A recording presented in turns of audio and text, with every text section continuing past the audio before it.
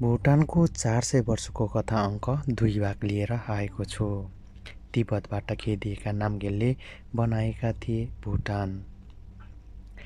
आजभन्दा धेरै धेरै वर्षअघि परापूर्वकालमा माथि हिमालदेखि फेदतिर एउटा हिमालको देश थियो। त्यो देशको हिउँले भरेको थियो। त्यो हिउँको देश यसै बनेको थिएन। त्यो देशलाई एक महान सिद्ध बौद्ध लामा गुरुले आफ्नो तन्त्र मन्त्र ताप र जपको बलमा खडा गर्नुभएको थियो। उहाँको आशीर्वाद र वरदानले यहाँ हिउँको देश बसेको थियो।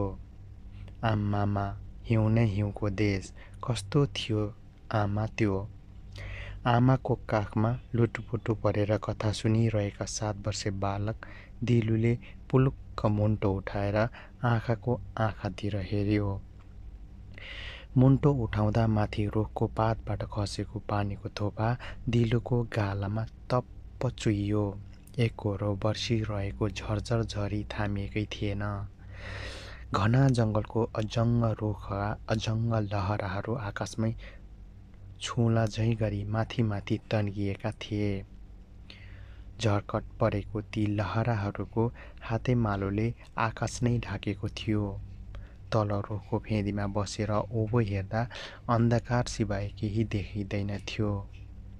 त्यसमाथि रातको त्यो प्रहरको केही देखिने कुरा पनि भएन। आकाश सफा थियो। रुखको लहराहरू कापबाट तारहरू टिलमिलाएका झैँ देखिन्थे।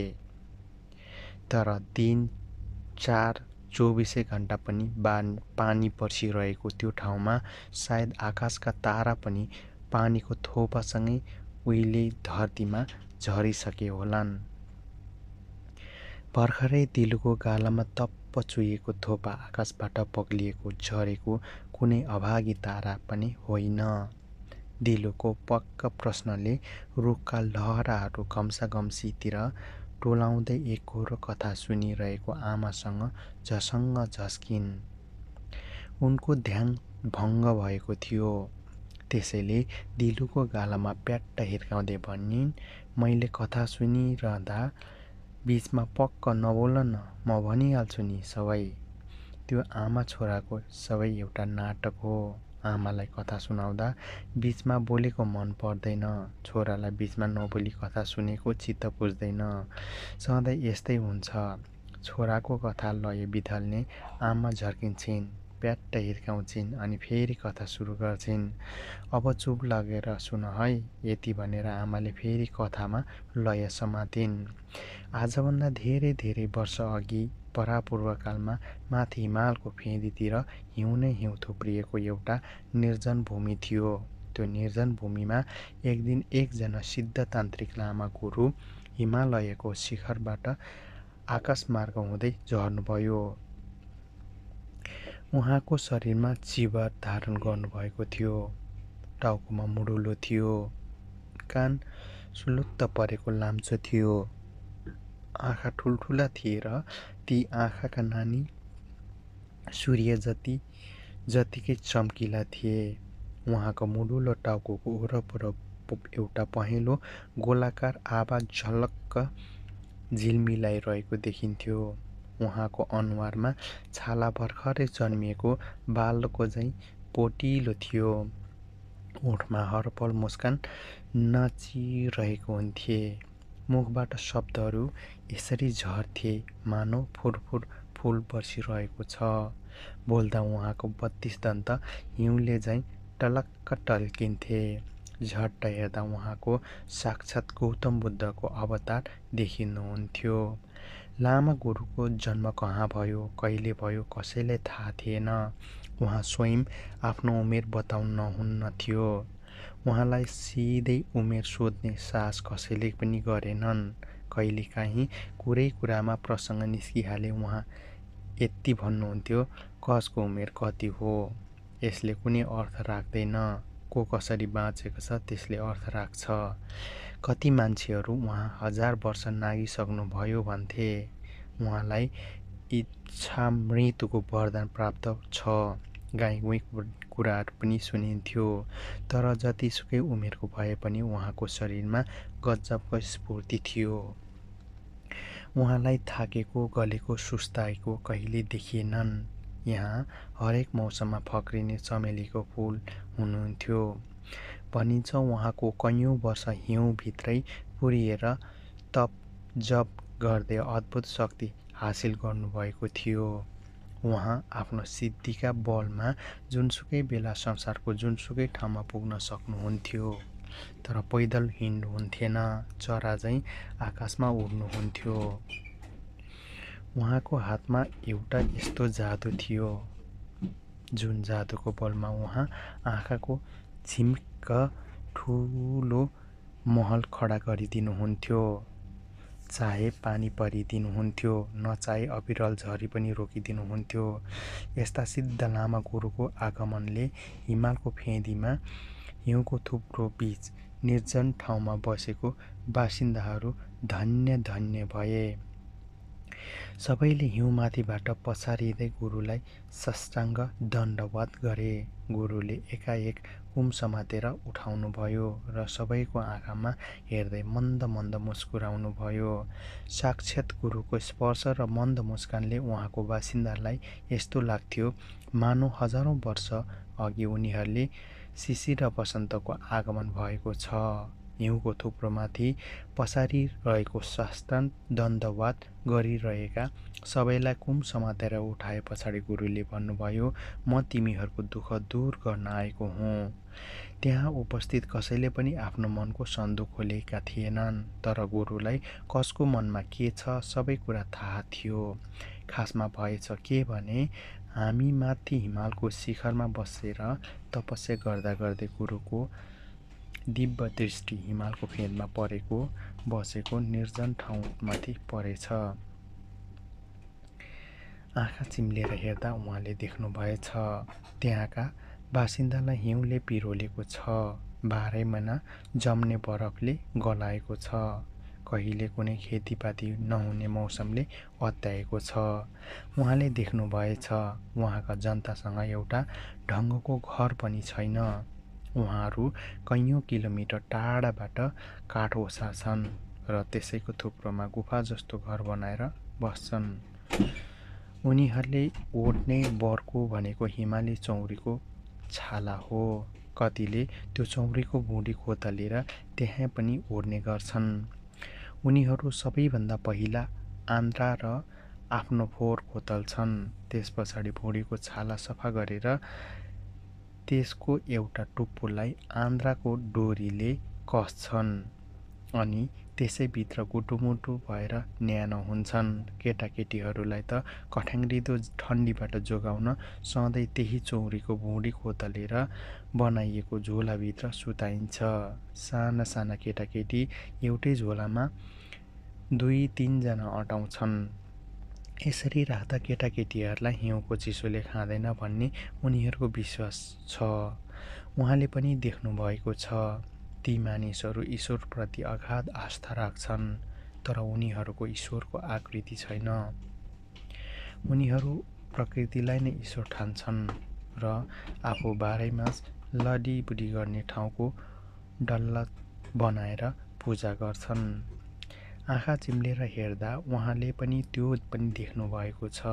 आजीवन हिउँले पिरोल्ने र बरफले गलाउने भए पनि त्यहाँका बासिन्दाको मनमा शोक तथा सन्ताप पीर र चिन्ताहरू केही छैन। उनीहरू सधैँ खुसी बस्दा रहेछन् सधैँ खुसी रहँदा रहेछन्। यस्तो कष्टपूर्ण जीवनमा पनि सधैँ खुसी र सधैँ सुखी रहने मानिसहरूको आनन्दी मनले लामा गुरु प्रभावित हुनुभएछ। उहाँले सोच्नुभएछ म संसारको दुःखबाट मुक्त गर्न निर्माण प्राप्त गर्न वर्षौँ वर्षदेखि हिउँको थुप्रोमा तपस्या गरिरहेको छु। तर यी मान्छे कस्ता हुन्? जसले तपस्या नगरी आफू जहाँ छन् यस्तो हालतमा छन् यस्तै हालतमा निर्माण प्राप्त गरिसके। उहाँले फेरि सोच्नुभएछ जसले आफ्नो कष्ट अद्भुत गर्दैन जसको मनमा लाख पीडा भए पनि ओठबाट मुस्कान हट्दैन जोसँग केही छैन तर संसारको सारा खुसी आफूसँग भए झैँ तृप्ति रहन्न र उही बुद्ध हो। साँचो अर्थमा भन्दा उसले आफ्नो सांसारिक जीवनमै रहेको निर्माण प्राप्त गरिसक्यो। उहाँले पनि सोच्नुभएछ मैले तपस्या गरेर यत्रो सिद्धि पाएँ तर के म बुद्ध भएँ? यसरी आफ्नो दिव्य दृष्टिबाट हिउँमा बस्ने ती जनताको सुख र दुःख देखिसके पछाडि लामा गुरु त्यही क्षण तपस्याबाट जुरुक उठ्नुभएछ। र आफ्नो बाँकी जीवन त्यही निर्जन ठाउँमा उनीहरूसँगै बिताउने मनसाय लिएर चरा चाहिँ उड्दै त्यहाँ आइपुग्नु भएछ लामा गुरुले यी सबै कुरालाई त्यहाँका जनतालाई सुनाउनुभयो र भन्नुभयो म जीवनभर जीवनका अर्थ खोज्दै हिँडेँ तर तिमीहरूले मलाई बाँच्न सिकायो जीवन जिउन सिकायो सुखको स्रोत आफैभित्र हुन्छ भनेर पहिल्याउन सिकायो। तिमीहरूबाट जिन्दगीको यति महत्त्वपूर्ण ज्ञान प्राप्त गरिसके पछाडि अब म आफूले सिकेका तप जप र तन्त्र मन्त्रको शक्तिबाट तिमीहरूको यो ठाउँलाई आबाद गराउँछु र म यसलाई देश बनाउँछु।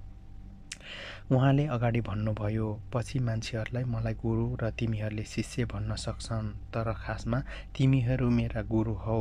म तिमीहरूको आज्ञापालक शिष्य हुँ। गुरुले यति मात्र भनिसके पछाडि त्यहाँका उपस्थित सबैले जय जयकार गरे। त्यस पछाडि त्यो एउटा स्वास्थ्य मान्छेले एकचोटि लामो सास फेरे जति समय लागेन। त्यो हिउँको देश बन्नलाई। के त्यहाँ पानी पनि पर्न थाल्यो? बालक दिलुले फेरि आमालेको आँखमा मुन्टो उठाएर उनको आँखातिर हेर्दै सोध्यो के त्यहाँका मान्छेले आफ्नो घर बनाए? त्यसपालि उनको गालामा रुखको बाटा पानीको थपा खसेन। बरु झरीले उडाएर ल्याएको चिसो स्याउलो साँठले सिट्याएर उसको दुवै गालामा राता भए। आमाले फेरि उसका गालामा सुस्तरी प्याट्ट हिर्काइन्। केही जवाफ नदिई कथाको लय समातिरहन् गुरुआमा गुरुले आफ्नो दुवै हात हावाले हल्लाउनु भयो उहाँको दुवै आँखा चिम्लिनु भएको थियो। केही निमेषसम्म उहाँका दुवै ओठ चल्मलाए। चुपचाप मन्त्र पढिसके पछाडि उहाँले आँखा उखार्नुभयो र भन्नुभयो म यहाँ हिउँको देश बनाउँछु।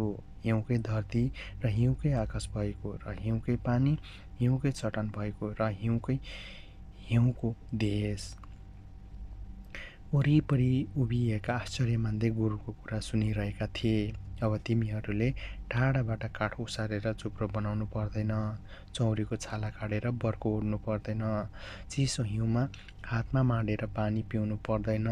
गुरुले अगाडि भन्नुभयो तिमीहरू यही हिउँमा अब आफ्नो संसारलाई बनाओ। हिउँ थुपारेर डल्ला पार। र एकमाथि अर्को डल्ला बिर्स्याउँदै गाह्रो लगाओ।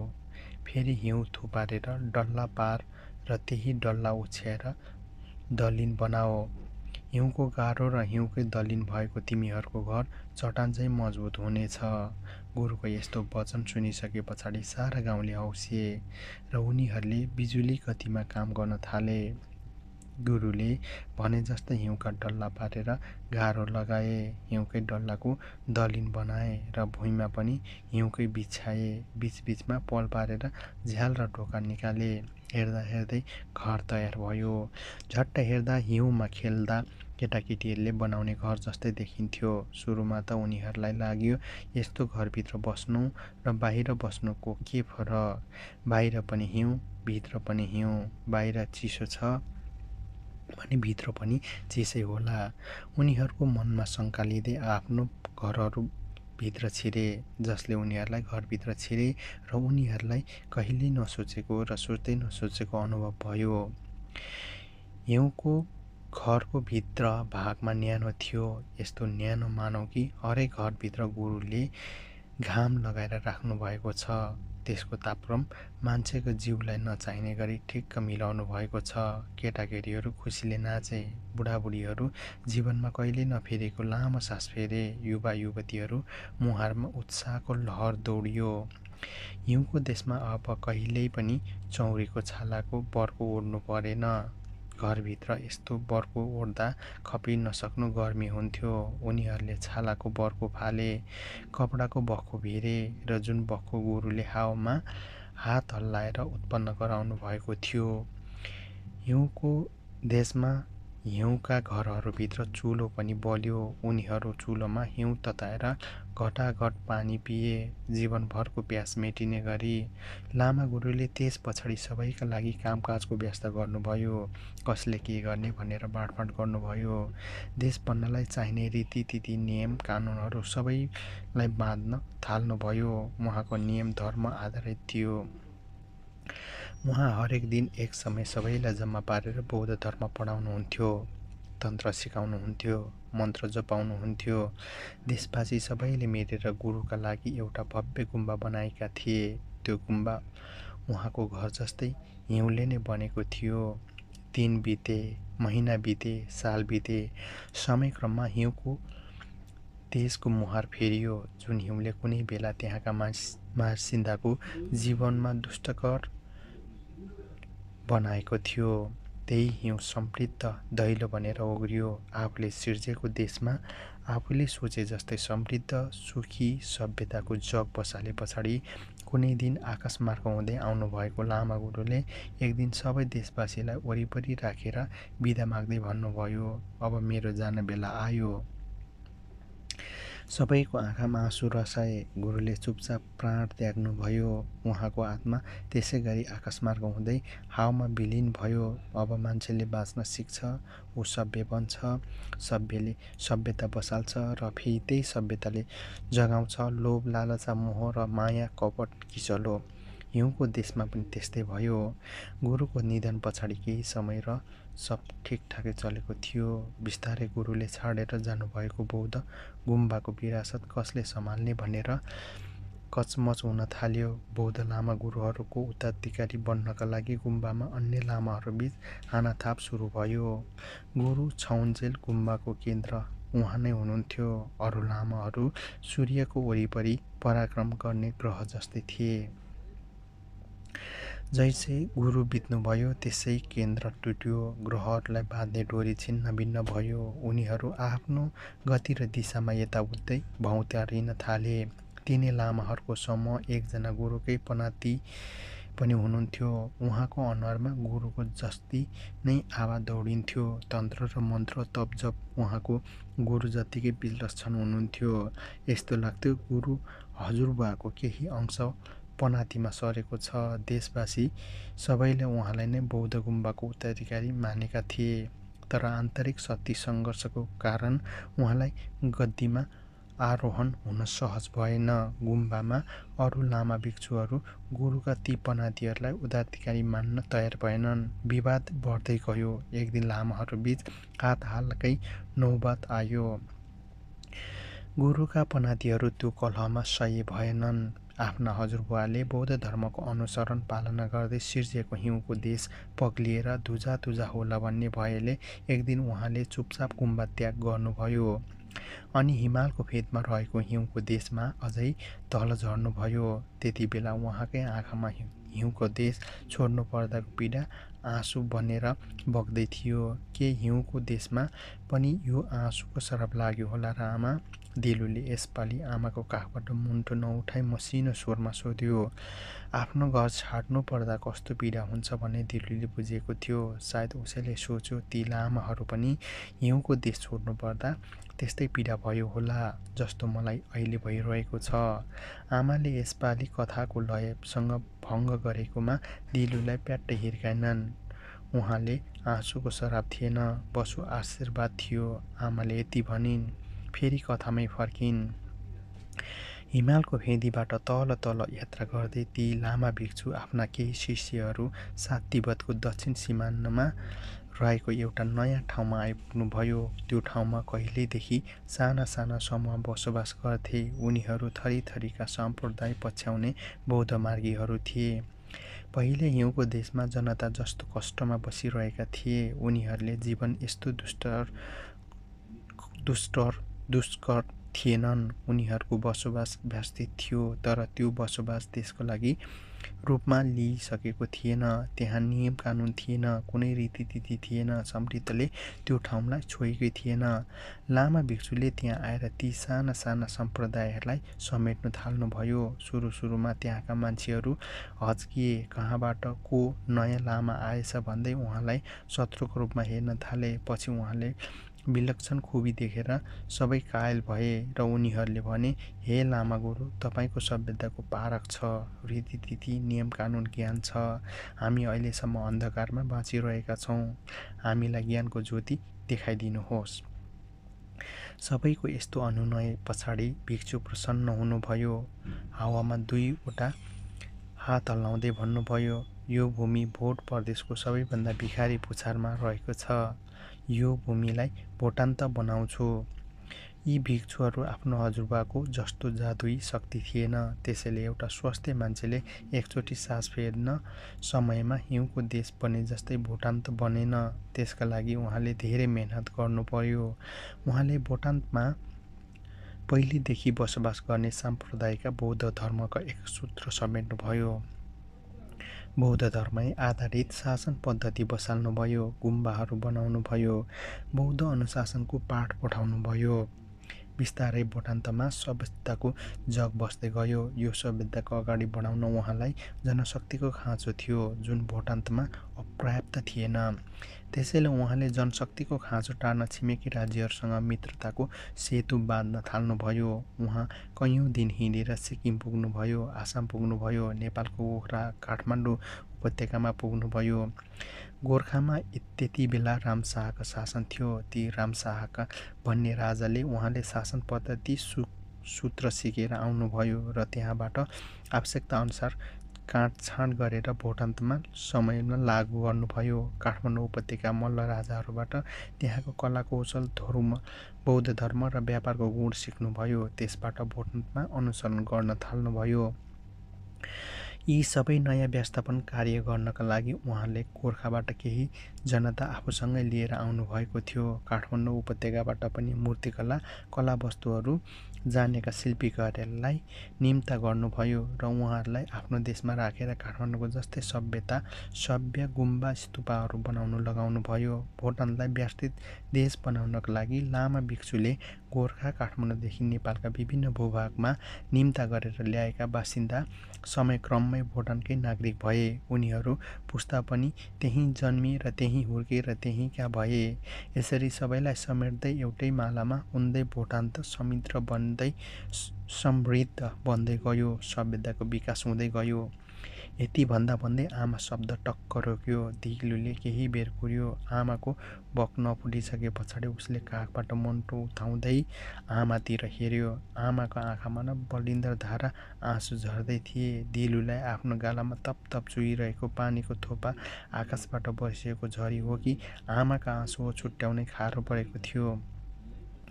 जैसे एउटै थोपाको उसले ओठ जिब्रो हुँदै भिजायो त्यस पछाडि बल्ल उसले चाल पायो त्यो झरी होइन आमाको आँसु।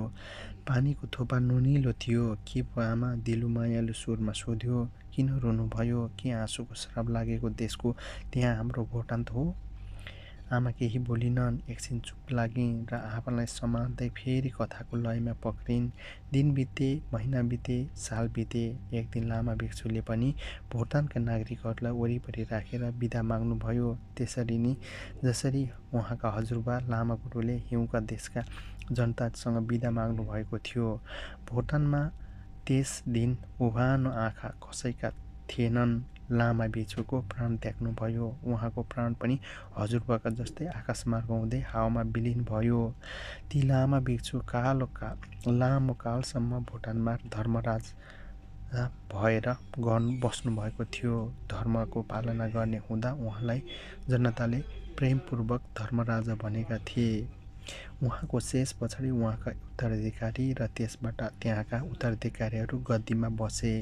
ती सबै दोस्रो तेस्रा तेस्रा धर्म राजाहरू भनियो।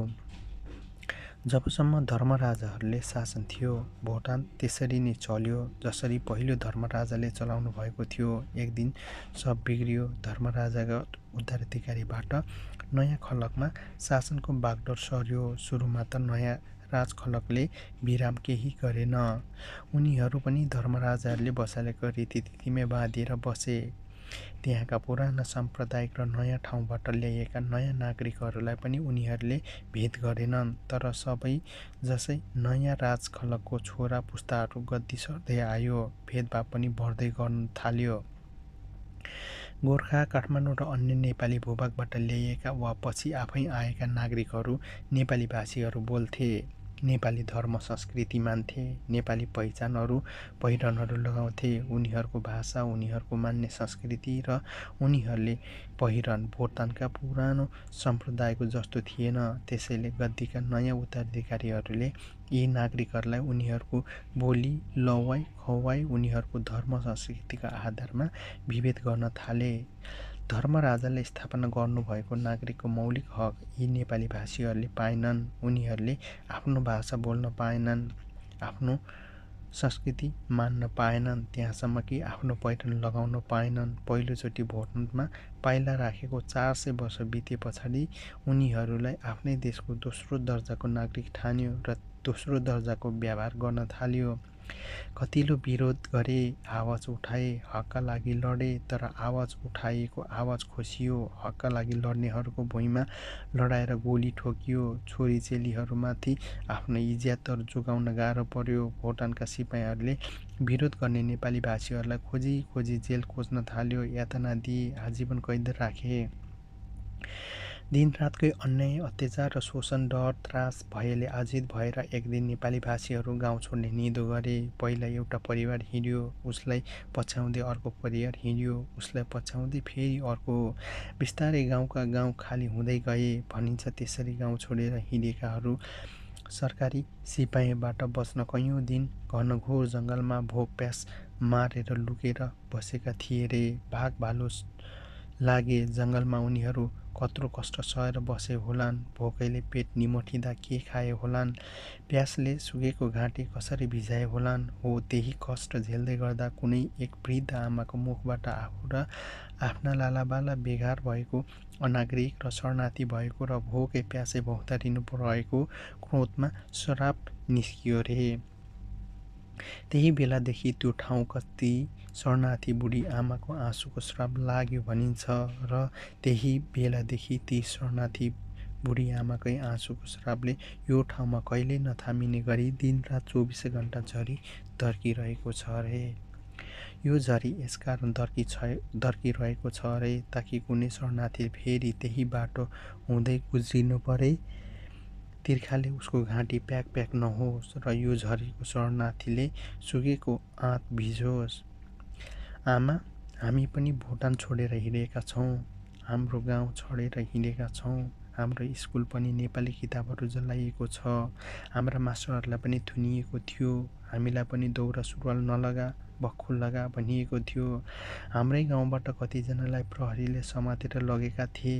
कतै हाम्रै कथा त होइन आमा। दिलुलेका देश राजाको कथाको असाय बुझे झै भयो।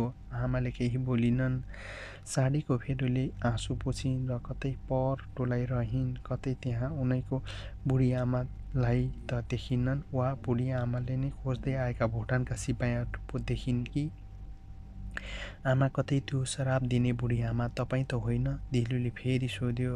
कतै त्यो ठाउँलाई तपाईँको श्राप लागेको त होइन आमा? आमाले पुलुक्क दिलुतिर हेरिन्। उनका आँसु भाव शून्य थियो झरी थामिएको थियो थिएन। आकाशतिर सोझिएर आपसमा झेली झैँ घम्साघम्सी गरिरहेका रुखका लामा लामा लहरहरूले बनाएको राक्षसी आकृति झन झन डरलाग्दो देखिँदै गएको थियो। सात वर्षको दिलो थुर थुर भयो। उसले आमा मसिना आँखा बेस्किन चिम्ल्यो। आमाको पाखुरामा बेस्किन मुड्कीले कस्यो। आमाले काखमा बेस्किन लोटुपुटु पार्यो। के त्यो राक्षस दिलोको राक्षसलाई दिलोको डरले श्राप लाग्ला। भनिन्छ त्यो ठाउँ अहिले पनि बुढी आमाकै श्रापबाट मुक्त भएको छैन। त्यहाँ अहिले पनि रुखका लहराहरू जेलिएकै छन् र ती जर्कट्ट परेका लहराहरू रातको समयमा राक्षसी आकृति बनाउँदै तर्साउन आउँछन्। त्यहाँ अहिले पनि झरी थामिएको छैन। अहिले पनि मध्यरात कोही रोए जस्तै कोही चिच्याए जस्तै आवाज सुनिन्छ। बेला बेलामा हुलका हुल मान्छेहरू भुइँमा झरेका पात पतिङ्गरहरू टेक्दै हिँडे जस्तै सराक सुरुक आवाज आउँछ। कहिलेकाहीँ जङ्गलभरि राँको बाल्टिन बालले झैँ उज्यालो देखिन्छ। के त्यो रोएको आवाज भुटानबाट खेदिएकी शरणार्थी बुढी आमाकै हो? के यो सराक सुरुको हुल बाँधेर भुटान छोडेका शरणार्थीहरूको पदछाप हो? के यो राँको र बाल्टिन बाले जस्तै उज्यालो देशबाट लखटिएका शरणार्थीहरूको बालेको आगो हो। शरणार्थीहरूको आँसुको शराबले त्यो ठाउँलाई कहिले छोड्छ हँ? अध्याय पाँच। गोर्खा र काठमाडौँको सम्बन्ध जोड्ने भुटानी धर्मराजको कथा। शरणार्थीको आँसुको श्रापले हाम्रो भुटान हाम्रो भुटानलाई कहिले छाड्ला सर? आमाले सुनाएको कथा सार खिच्दै दिल महतले लामो सुस्केर छाडे। हामी दिल महतसँग झापाको बेलदागी शरणार्थी शिविरको उनैकै झोपडीमा बसेकोमा कुरा गरेका थियौँ। आफू सानै छँदा आमा बुबाको हात समातेर गाउँलेहरूको लस्करका साथ भुटान छाडेर हिँड्दाको बोली विस्तार र बाटोमा आमाले सुनाएको एकादेशको राजाको कथा र सुनाइसक्दा दिल महत एकदमै थाके जस्तो देखिँदै थिए। उनी खाटमा पलेटी कसेर आफ्नो कहानी सुनाउँदै थिए। हामी उनको अगाडि कुर्सीमा बसेका थियौँ। कहानी सकिसके पछाडि उनी खाटबाट उठेर भान्सातिर लागे। हामीले पर्दैन भन्दा भन्दै चिया पकाए। चिया पकाउँदै गर्दा उनका कोठामा राखिएको क्यासेट प्लेयर अन गरे। अघिसम्म एकहोरो दिल महतको आवाज सुनिरहेको कोठामा जीवन शर्माले गाएको पुरानो लोकगीतको मधुरो स्वरमा बज्न थाल्यो सिमली छायामा बसी भरिया लामो सास फेरेको। उमेर भइसक्यो असी झन् ठुलो दुःखले घेरेको। छोराछोरी पालले तालले यही भारीको भरमा जीवनभरि कहिले पनि सुध्रिएन कर्म। पैसाको धुपमा पनि सुख पाइनँ मैले। वैशाखको धुपमा पनि सुख पाइनँ मैले। साउनको बाढी पहिरो भन्न पाइनँ मैले। निमु खोयो सर्वहारा सातुको कोसेली फुकायो भिजायो जिउको सारा ढाँडा पसिना सुकायो। सिमली छायामा बसी भरिया लामो सास फेरेको उमेर भइसक्यो असी झन् ठुलो दुःखले घेरेको। मलाई जीवन शर्माको यो गीत एकदमै मनपर्छ सर। भान्साबाट स्टिलको गिलासमा चिया ल्याउँदै दिलमहलले भने साह्रै सन्चो दिन्छ उनका गीतहरू सुन्दा पृष्ठभूमिको गीतको अर्को सारमा अन्तरामा सुरु हुँदै थियो। हामी चिया पिउँदै चुपचाप गीतमा कोरिरहेका थियौँ। छोरीहरू हुर्केबडे घरे घर घर गए। छोरीहरू हुर्के बढे घर घर गए। छोराहरू पाँचै भाइ मुगलनतिर भए। नातिनीका नातिहरू जन्मे भन्छ कुन्नी। नातिनी र नातिहरू जन्मे भन्छ कुन्नी। मेरो साथी लोरो बाहेक छैन अरू सुन्ने। मागेर थुरेर भए पसिना नझारी कोही छैन। बोकेर अर्काको भारे जीवन जिन्दगी थामेको जुहारे। सिमली छायामा बसी। भा भरिया लामो सास फेरेको उमेर भइसक्यो असी जन्तुको ठुलो दुःखले घेरेको। अर्को अन्तरा सुरु हुनै लाग्दा परशुधनको पृष्ठमा दिल महतले भने एउटा कुरा चाहिँ अचम्म लाग्छ सर। आमाले सुनाएको कथा ठ्याक्कै भुटानको इतिहास हो। भुटानको पहिला धर्मराजा सापद्रुङ नवाङ नामगेलले कुनै परिस्थितिमा तिब्बत छाड्नुभयो कसरी उहाँले भुटानलाई नयाँ देश बनाउनु भयो नेपाली भाषीहरूलाई कसरी ल्याउनु भयो र पछि तिनै नेपाली भाषी कसरी शरणार्थी बनेर हिँड्नु पर्यो यो सबै वर्णन आमाले आफ्नो कथामा गर्नुभएको छ। कथा सुनिसके पछाडि तपाईँहरूले बुझ्नुभयो होला नि?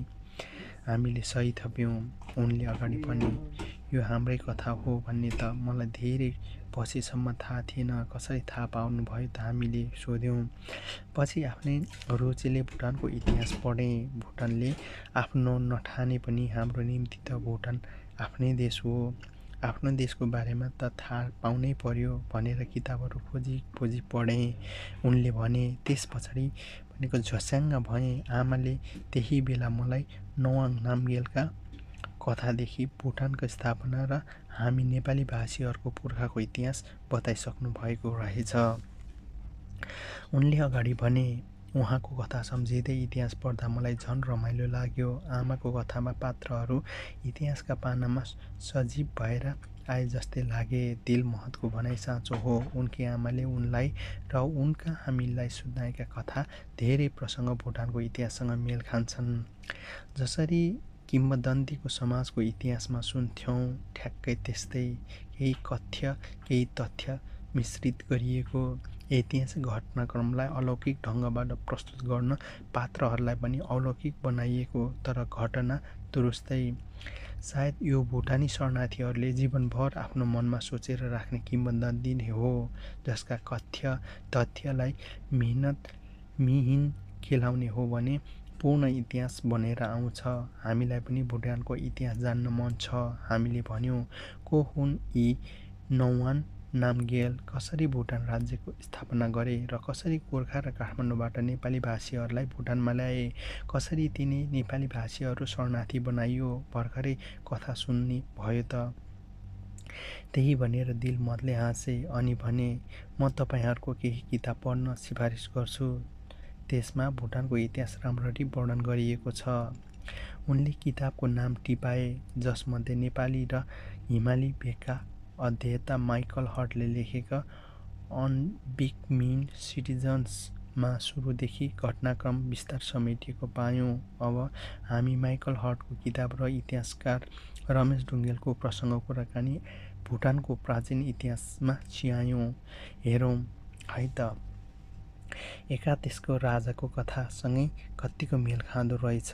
कथा सुरु हुन्छ आजभन्दा चौध सय चौध सय वर्ष अघिसम्म जब भुटान भन्ने देश थिएन त्यसबेला तिब्बतको एउटा दक्षिणी सीमान्त भूमि सभ्यताको हिसाबले अन्धकार युगमै थियो। त्यही केही साना साना सम्प्रदायहरू बसोबास थियो। ती साना साना साम्प्रदायिक साना साना सीमान्तको अधीनमा बाँधिएका थिए तर तिनलाई बाँध्ने नियम कानुन केही थिएन। उनीहरू एउटा व्यवस्थित समुदायभन्दा मान्छेहरूको झुन्डको रूपमा बसोबास गरिरहेका थिए। भन्नुको मतलब तिब्बतको दक्षिणी सीमान्त भूमिले एउटा देशको स्वरूप लिइरहेको थिएन। त्यो भूमिलाई त्यति बेला नेपालीमा नेपालीहरू भोटान्त भन्ने थिए जसको अर्थात् भोट प्रदेशको अन्त हुनुपर्छ। तिब्बत अर्थात् भोट प्रदेश दक्षिणी भागलाई त्यही भूमिमा आएर अन्त्य हुने भएकोले तत्कालीन भौगोलिक अवस्थितिको आधारमा उसले ने यसको नेपाली नाम भोटान्त रहेको अनुमान गर्न सकिन्छ।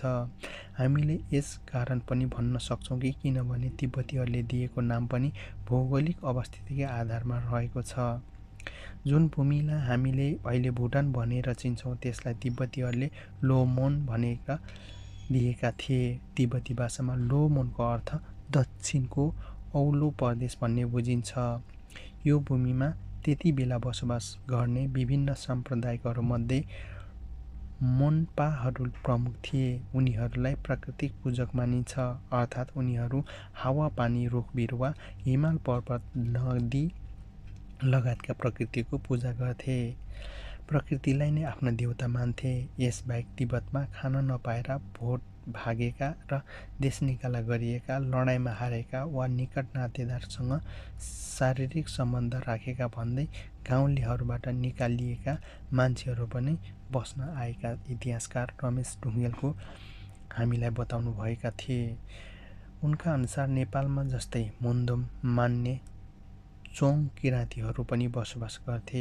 अठौँ शताब्दीतिर तिब्बतबाट बौद्ध मार्गीहरूले प्रवेश हुँदा चोङ किराँती र तिब्बतीहरू बिच घमासान युद्ध भएको थियो। यी चोङ किराँतीहरूले नेपालका तत्कालीन लिच्छिबी राजाहरूमाथि धावा बोलेको इतिहास पनि रहेको छ। नेपालका ऐतिहासिक घटनाक्रममा टिपोट गरिएको गोपाल राजवंशी ओलीमा यो प्रसङ्ग पाइन्छ।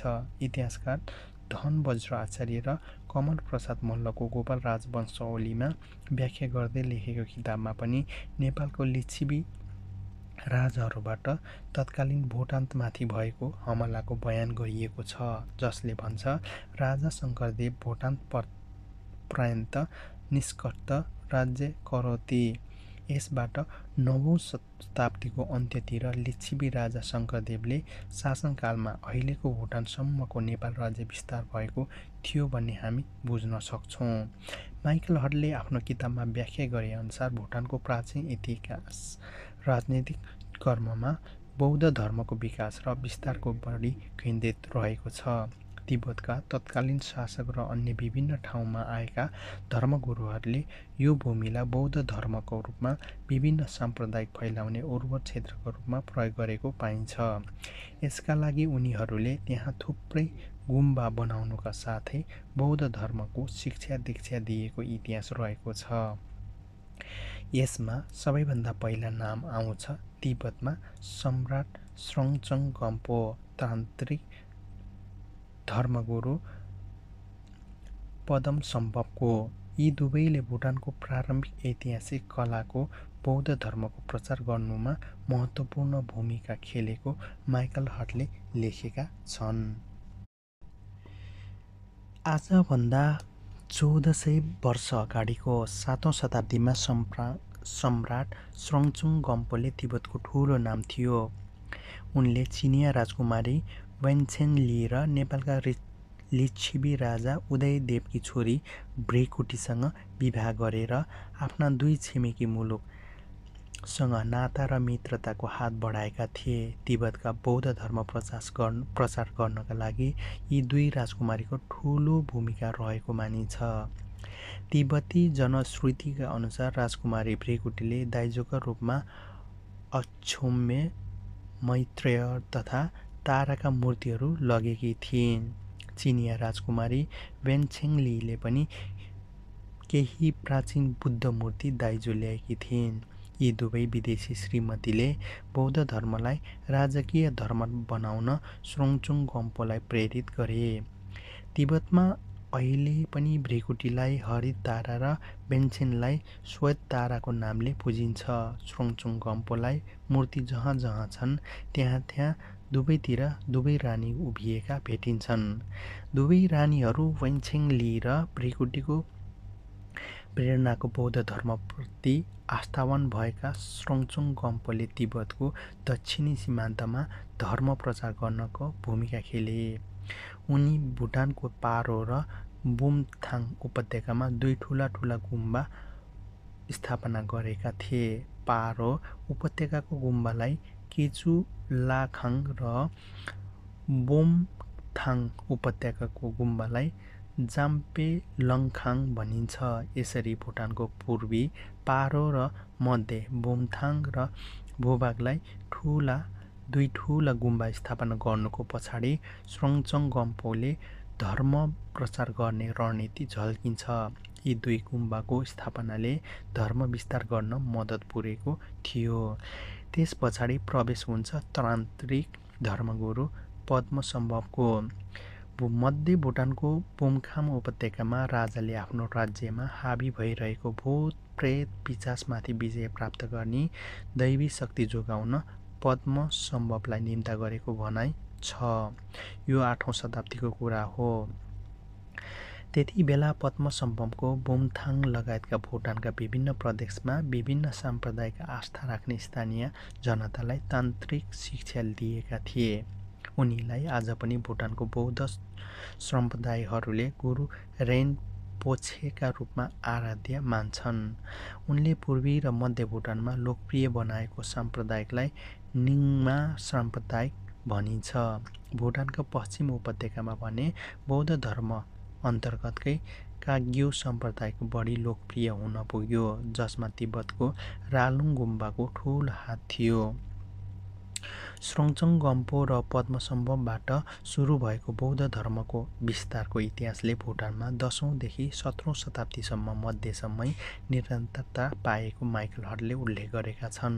यसबीच भुटानका विभिन्न प्रदेशमा विभिन्न धार्मिक साम्प्रदायिकमाथि आस्था राख्ने वंशहरूले आफ्नो राजनैतिक वर्चस्व कायम राख्न खोजेका देखिन्छन्।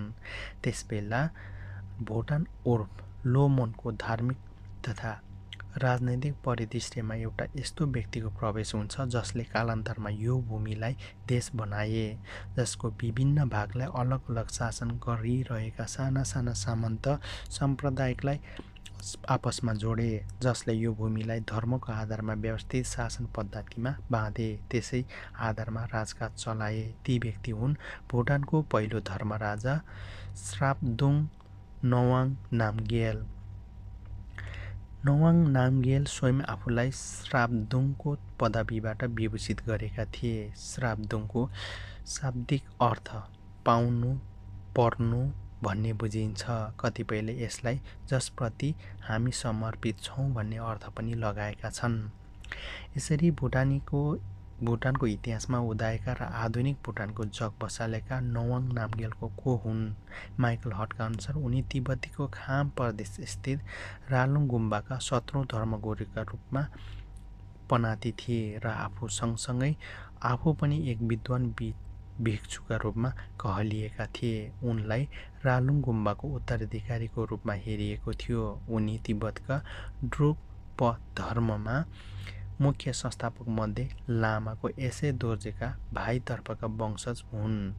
यति मात्र होइन उनले आफू ड्रुप सम्प्रदायका प्रसिद्ध विद्वान लामा पेम्बा काप्रोको अवतार भएको दावी गरेका थिए। समस्या के भयो भने अर्को एक लामाले पनि आफूलाई पेमा कोप्रेको अवतारका रूपमा दावी गरे ती लामाहरूलाई तिब्बतको एक प्रमुख प्रान्त सङ्घका शासकको रूपमा समर्थन थियो।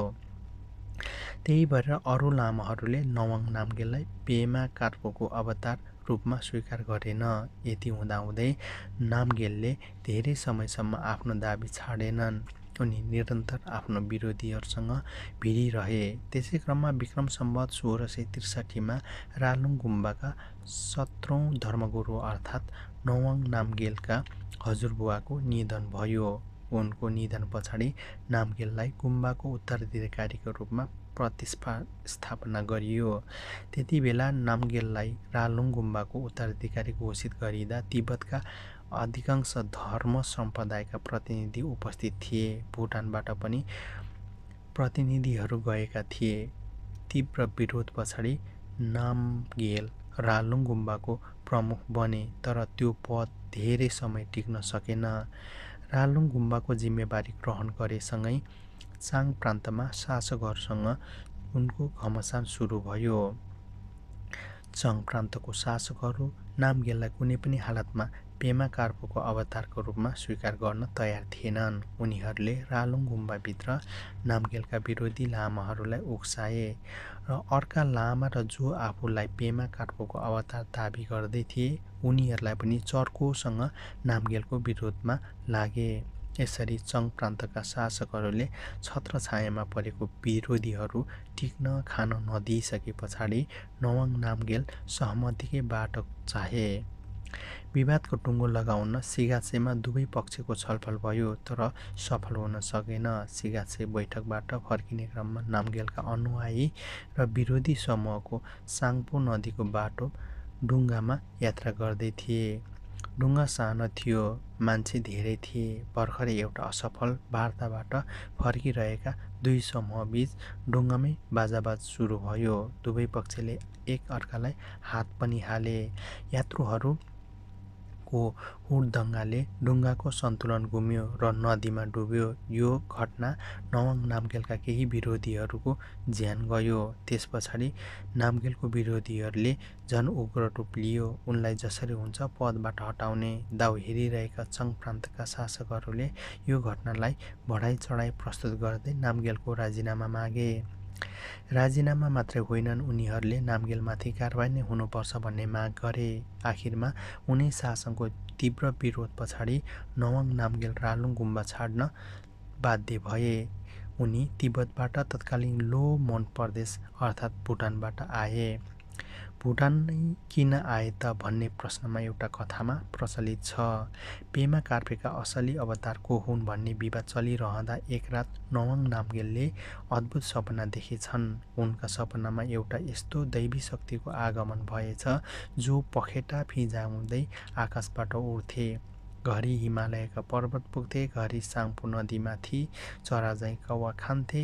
यसरी उड्दै उड्दै ती दैवी शक्ति तिब्बतका रालुङ गुम्बाबाट दक्षिणी भू तिब्बततर्फ भूभागतर्फको यात्रा गरेछन्। तिब्बतबाट सुरु भएको यात्रा लोमन अर्थात् भुटानतर्फमा गएर टुङ्गिएछ। यी यी दैवी शक्ति रालुङ गुम्बाबाट लो मुन पुगेको सपनालाई नवाङ नामगेलले देवताको भविष्यवाणीको रूपमा बुझे र देवताको मार्गदर्शनको रूपमा ग्रहण पनि गरे। उनी आफ्नो सपना पछ्याउँदै विक्रम सम्मत सोह्र सय त्रिहत्तरमा तिब्बतबाट निकालिएका शरणार्थीहरूको रूपमा भुटानको यात्रामा निस्किए त्यति बेला उनी तेइस वर्षका थिए। नामगेललाई भुटानमा थुप्रै ट्रक प गुम्बाहरू छन् भन्ने थाहा थियो तर उनी कहिले त्यहाँ गएका थिएनन् इतिहासकार रमेश ढुङ्गेलाहरू लेख्छन्। नवाङ नामगेलका भुटान आउनुभन्दा पहिले तेह्रौँ शताब्दीमा नै भुटानमा ट्रक प सम्प्रदायको प्रवेश भइसकेको थियो। यसरी नामगेलभन्दा चार सय पै शताब्दी चार शताब्दी पहिले भुटानमा ट्रक प सम्प्रदायको प्रवेश गराउने काम उनैका पूर्व मध्येका एक लामा फाजोले गरेका थिए। लामा फाजोले भनेका तिब्बतमा ड्रग सम्प्रदायका संस्थापक यसै दोर्जेको कुलमा लामा साङ्वे वंशका हुन्। नामगेलका सबैभन्दा पहिला भुटानको पारो उपत्यकामा आएर त्यहाँको ड्रग छोदिङ भन्ने गुम्बामा बसेको माइकल हटले लेखेका छन्। कालान्तरमा ती नवाङ नामगेलले भुटानका सबै बौद्ध सम्प्रदायहरू एकीकृत गरेर साना साना सामन्तहरूलाई पनि छोडेर आधुनिक भुटान राज्यको स्थापना गरे। उनले भुटानमा धर्म लैङ्गिक परम्पराको आधारित सा आधारित शासन व्यवस्था चलाएका थिए। धर्मको आधारमा राजकाज चलाएको उनले धर्मराजा भनियो। तिब्बतबाट विद्रोह गरेर आएका नामगेललाई भुटानको राजकाज सम्हाले पछाडि उनी तिब्बतीहरू दुःख दिन छोडेनन्। उनका पुराना प्रतिद्वन्दी चाङ प्रान्तका शासकले नामगेलकै रिसमा धेरैचोटि भुटानमाथि हमला गरेका थिए। दलाई लामाको गेल गेल्लुपा सम्प्रदायले पनि सोह्र सय उनासयमा तिब्बतको शासन सम्हाले पछाडि भुटान जित्ने कोसिस गरेको थियो। त्यस्ता तमाम आक्रमणका बावजुद पनि श्रापदोङ नवाङ नामगेल नयाँ राज्य स्थापना गर्ने र आफ्नो अभिनयमा टसमस भएनन्। उनले आफू र आफ्ना तिस हजार भिक्षुहरूलाई भुटानको अहिलेको राजधानी थिम्पू नजिकै एउटा किल्ला जस्तो विशाल गुम्बा निर्माण गराएका थिए। उनी त्यही गुम्बाबाट राजकाज चलाउँथे। छोरी वा छाङ्ग्री गुम्बा भनिने यो किल्लाले अहिले पनि नवाङ नामगेलको विरासत झल्काउँछ। भुटानका प्रत्येक जिल्लामा उनले यस्तै किल्लाको स्वरूपमा गुम्बा बनाएका छन् जसले त्यति बेला भिक्षुहरूको वासस्थानदेखि प्रशासकीय कार्यालयहरूसम्मको काम गर्थ्यो।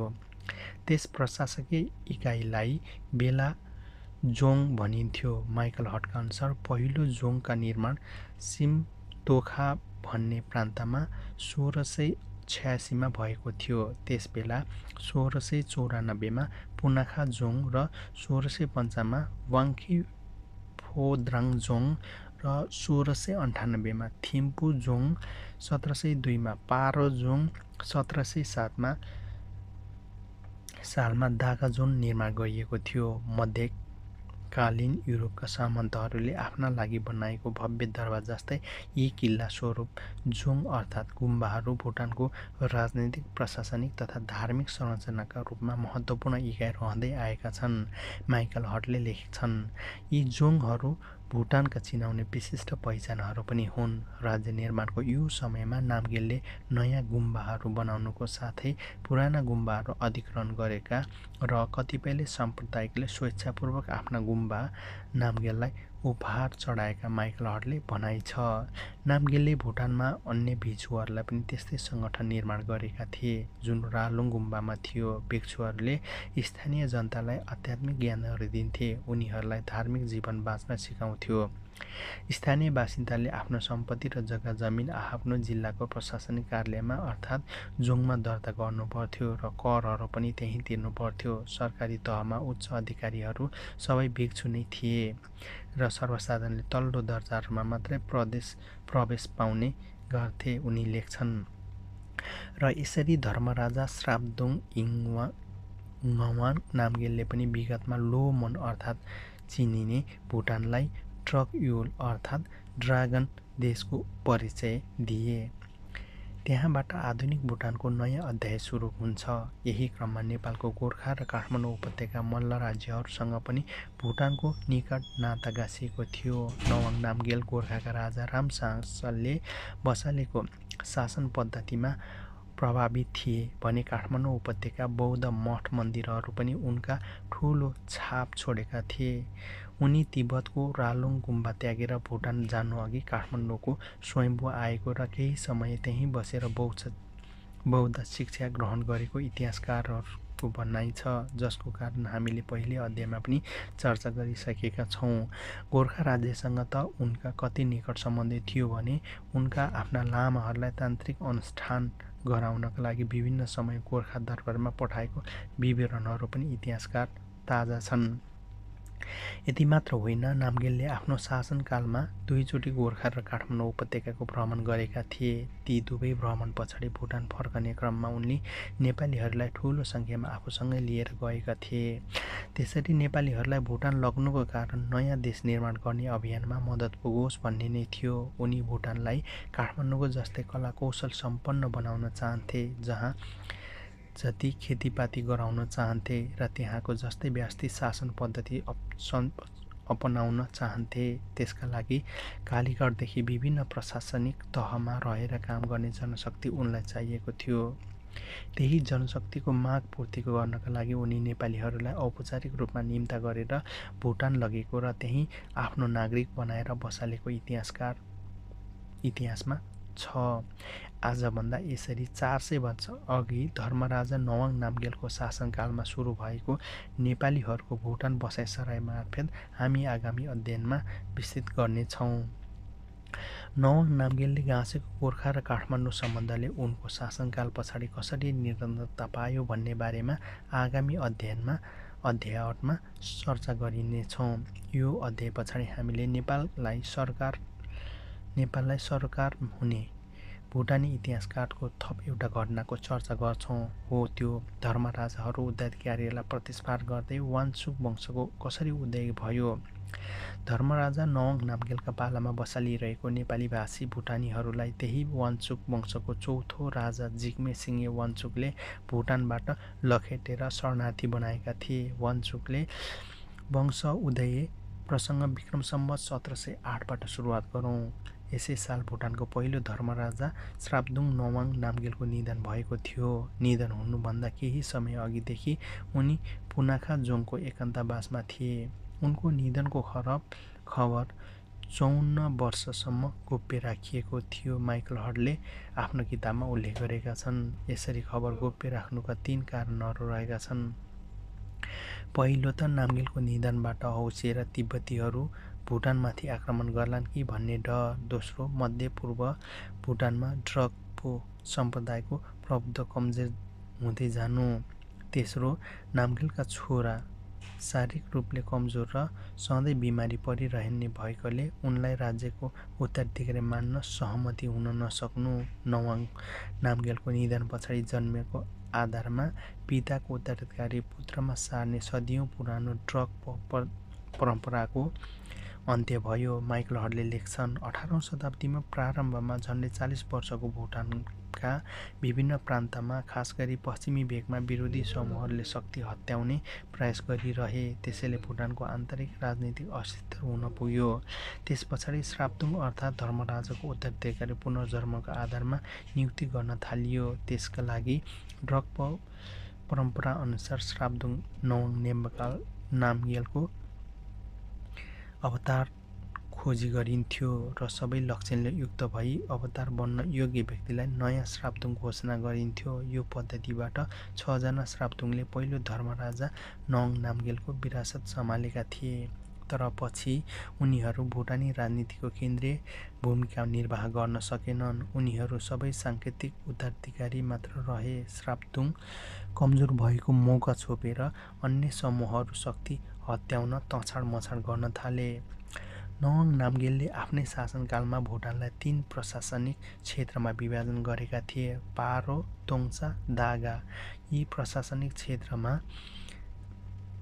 क्षेत्रको नेतृत्व शासन गर्नेका पोनलोप भनिन्थ्यो। उन्नाइसौँ शताब्दीको प्रारम्भमा यी तीन शासक मध्ये पारो तोङ्सा शासक आफ्नो क्षेत्रमा शक्तिशाली बनेर उदाए। पारो पोन्लोप मातहतका पश्चिमी भुटान पर्थ्यो भने तिब्बतसँगको व्यापार गर्न मार्ग यही पोन्लोपको नियन्त्रणमा थियो। त्यस्तै भुटान पूर्वी भुटान तोङ्सा पोन्लोप मातहतमा पर्थ्यो। भुटानको इतिहासमा वान्चुक वंशको उदय यहीँबाट सुरुवात हुन्छ।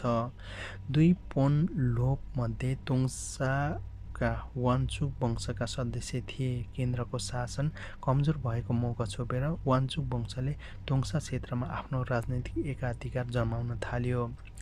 भुटानी राजनीतिमा वान्चुक वंशको उदय बेलायतीहरूको प्रवेशसँग पनि जोडिएको घटनाक्रमसँग देखाउँछन्। विक्रम सम्बत उन्नाइस सय बाइसमा भुटानले बेलायतसँग सिन्चुला सन्धि अन्तर्गत आफ्नो दक्षिणी भूभाग गुमाएको थियो। त्यसबाट भुटान र बेलायत बिच दक्षिणी भूभागलाई लिएर निरन्तरता किचल्लो चलिरहन्थ्यो। त्यसै बेला उन्नाइस सय पच्चिसदेखि उन्नाइस सय बयालिस सालसम्म भएको तिन आन्तरिक द्वन्द्वका भुटानका प्राप्तहरूको फुट ल्यायो माइकल हट लेख्छन् यो फुट पछाडि सन् उन्नाइस सय बयालिसदेखि भुटानको राजनीतिमा तोङ्साका शासकहरू वान्चुकहरूको हातमा परे माथि परेको देखिन्छ। त्यसको केही समय पछाडि विक्रम सम्मत उन्नाइस सय साठी एकसाठीतिर भारतको शासन गरिरहेको बेलायती साम्राज्यले भुटानको बाटो हुँदै तिब्बतमा आफ्नो सेना पठाउन खोज्यो। बेलायतको यो सैन्य अभियानमा वान्चुकहरूले साथ दिए। उनीहरूले आफ्नो तर्खबाट आवश्यक सहयोग पर्ने बेलायतहरूलाई उपलब्ध गराए। पारोको शासक पोनलोप भन्ने तिब्बतको पक्षमा उभियो। त्यही मौका छोपेर बेलायतीहरू समर्थक र सहयोगको पारको शासकहरूलाई प्रतिस्पर्धा गर्न र वान्चुक वंश सफल बन्यो माइकल हड लेख्छन्। त्यसपछि भुटानका वान्चुकहरूले एकल परिवारको एकाधिकार समा स्थापना भयो। विक्रम सम्मत उन्नाइस सय चौसठी पोष दुई गते मङ्गलबारका दिन पुनाखामा आयोजना गरिएको भव्य समारोहमा उगेन वान्चुक भुटानका राजा बने। उनी वान्चुक वंशका भुटानका राजगति सम्हाल्ने पहिलो राजा हुन् र योसँगै भुटानको पहिलो पटक वंश परम्परामा आधारित राजतन्त्र सुरुवात भएको थियो। यो वंशमा अहिलेसम्म पाँचजना राजा भएका छन्। ओगेन वान्चुक जिग्मे वान्चुक जिग्मे दोर्जे वान्चुक जिग्मे सिङ्गे वान्चुक र वर्तमान राजा जिग्मे शेखर नामग्याल वान्चुक वान्चुकको वंशको तेस्रो राजा जिग्मे दोर्जे वान्चुक विक्रम सम्मत उन्नाइस सय पचासी दुई हजार उन्तिसलाई सुधारवादी राजाका रूपमा लिइन्छ।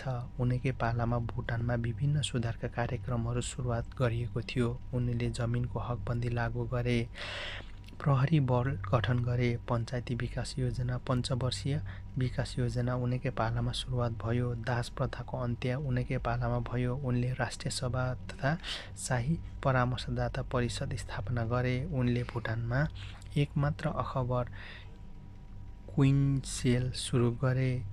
उनैका शासनकालमा नेपाल शासनकालमा भुटान राष्ट्रसङ्घको सदस्य पनि बन्यो। जिग्मे दोर्जे वान्चुकले लागू गरेको कतिपय सुधारका कार्यक्रम नेपाली भाषीहरू बसोबास गर्ने दक्षिणी भुटानको अर्थतन्त्र र प्रशासनलाई बाँकी मुलुकसँग जोड्ने उद्देश्य प्रेरित थिए माइकल हड लेख्छन् उनी आफ्नो सुधारका कार्यक्रमहरू माध्यमबाट दक्षिणी भाष भागमा बसोबास गर्ने नेपाली भाषीहरूलाई समुदायमा राष्ट्रिय मूलधारमा ल्याउन चाहन्थे।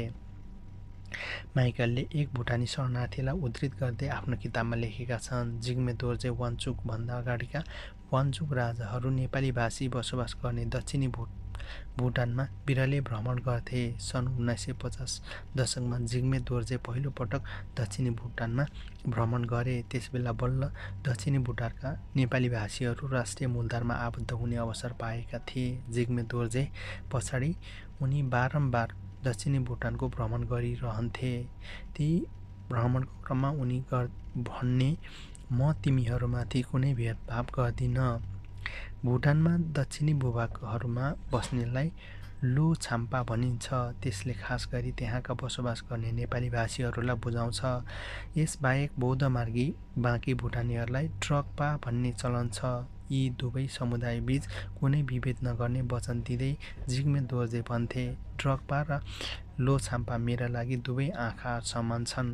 मैले एउटा आँखाको बलमा अर्को आँखालाई भेदभाव गरेँ भने कसरी राम्रो देख्न सक्छु? तर जिग्मे दोर्जेको निधन पछाडि त्यहाँ वंशको चौथो राजा जिग्मे सिंह वान्चुक नेपाली भाषी भुटानीहरूको लागि सराप बनेर आए।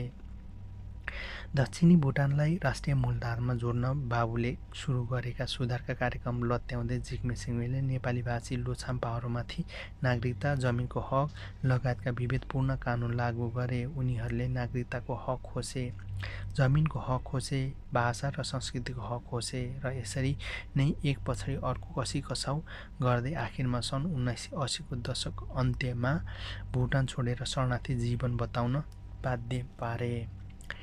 इतिहासको सँगै पनि कस्तो तिब्बतबाट शरणार्थीको रूपमा भुटान प्रवेश गरेको नवाङ नामगेल जुन नेपाली भाषीहरूको सहयोगमा भुटान राज्य निर्माण गरे तिनै नेपाली भाषीहरू भुटानीहरूको आखिरमा नवाङ नामगेल जस्तै आफ्नै मातृभूमिबाट शरणार्थी रूपमा निकालिए। नेपाली भाषी भुटानीहरूलाई देश छोड्न बाध्य पार्ने षड्यन्त्रपूर्वक ल्याइएको विभेदपूर्ण नागरिकता कानुन विवाहको कानुन सांस्कृतिक हक सम्बन्धी प्रावधान लगायतका बारे हामी आगामी अध्ययनमा अध्ययन विस्तृत चर्चा गर्नेछौँ। दक्षिणी भुटानका नेपालीहरूका लागि जिग्मे दोर्जे वान्चुको शासनकालमा छोटो अवधिको हनिमुनको रूपमा रहेको माइकलहरूले लेखेका छन्।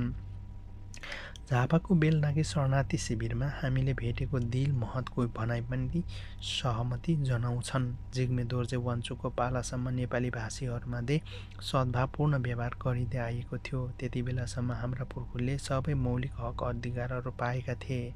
त्यहाँसम्म कि विगतमा वान्चुक शासकीय राजकहरू उपक्षका उपेक्षा गरेका हामी दक्षिणी भुटानका लोछाम्पा समुदाय जिग्मे दोर्जेले नै राष्ट्रिय मूलधारमा समेट्ने प्रयास गरेका थिए। उनी लोछाम्पा र ट्रक्पाहरूलाई भुटानका बार बार हकदार नागरिकहरू हुन् भन्थे। त्यसैले उनले पालासम्म हामीलाई आफ्नो धर्म संस्कृति मान्ने हक थियो। भाषा बोल्ने हक थियो। धेरै नेपालीहरू भाषीहरू शासनको माथिल्लो ओहदासम्म पुगेका थिए। दिल महतले बेलडाँगी शिविरको आफ्नो झोपडीमा हामीसँग लामो कुराकानी गर्दै भने उनका छोरा जिग्मे सिङ्गे वान्चुकले भने गद्दी सम्हालेदेखि नै हामी नेपाली भाषीहरूप्रति कटकपूर्ण व्यवहार देखाए। उनले आफ्नो पिताभन्दा बिल्कुलै फरक बाटो समाते र हामीलाई दोस्रो दर्जाको राख्न चाहे त्यसैको परिणाम हो आज हामी यहाँ आफ्नै देशमा लखेटेर शरणार्थी जीवन बिताउन बताइरहेका छौँ। दिल मसँग हामीले दुई घन्टा पैँतिस मिनटको कुराकानी गऱ्यौँ। उनले आफ्नो बारेमा आफ्नो देशका बारेमा र शरणार्थी समस्याको बारेमा धेरै कुराहरू सुनाए। कुराकानीकै क्रममा उनले झुपडीको भित्तामा टाँसिएर राखेको छोरी र श्रीमतीको प्रसङ्ग पनि निकालेको थियो। उनका दुवै अहिले अस्ट्रेलियामा छन्। दिलले आफ्नै श्रीमती र छोरीका बारेमा पनि हामीसँग खुलेर कुराकानी गरेका थिए। हामी त्यसबारे पछि चर्चा गर्नेछौँ। झुपडीको झ्यालबाट निकै टाढा घामको तारो डल्लो ढल्किँदै थियो। बिदाबारी हुन खोज्दा उनले फेरि दोस्रो खेप चिया प्रस्ताव गरे। हामी हुन्छ भन्यो। चिया पकाउँदै गर्दा उनले क्यासेट प्लेयरमा उही जीवन शर्माको गीत बजाए। सिमली छायामा बसिया भरिया लामो सास फेरेको उमेर भइसक्यो असी झन् ठुला दुःखले घेरेको। यो गीतमा म आफ्नै बिदा भेट्छु उमल ढल्किँदैछ तै दुःखले घेर्न छोडेको छैन। आँखामा कहिले जल जली देखेको सम्झना त्यहीदेखि जीवन यस्तै छ बसाइ यस्तै छ। अहिलेसम्मको खुट्टा फैलाउन पुगे ठाउँ मैले पाएको छैन। देश छुट्यो परिवारको साथ पनि छुट्यो देश फिर्तीको आशामा म एक्लै बसेको छु। अब त त्यही आश पनि अञ्जुलीमा थापेको पानी जस्तै बिस्तारै छुट्दैछ म यहाँ छु तर म यहाँको होइन।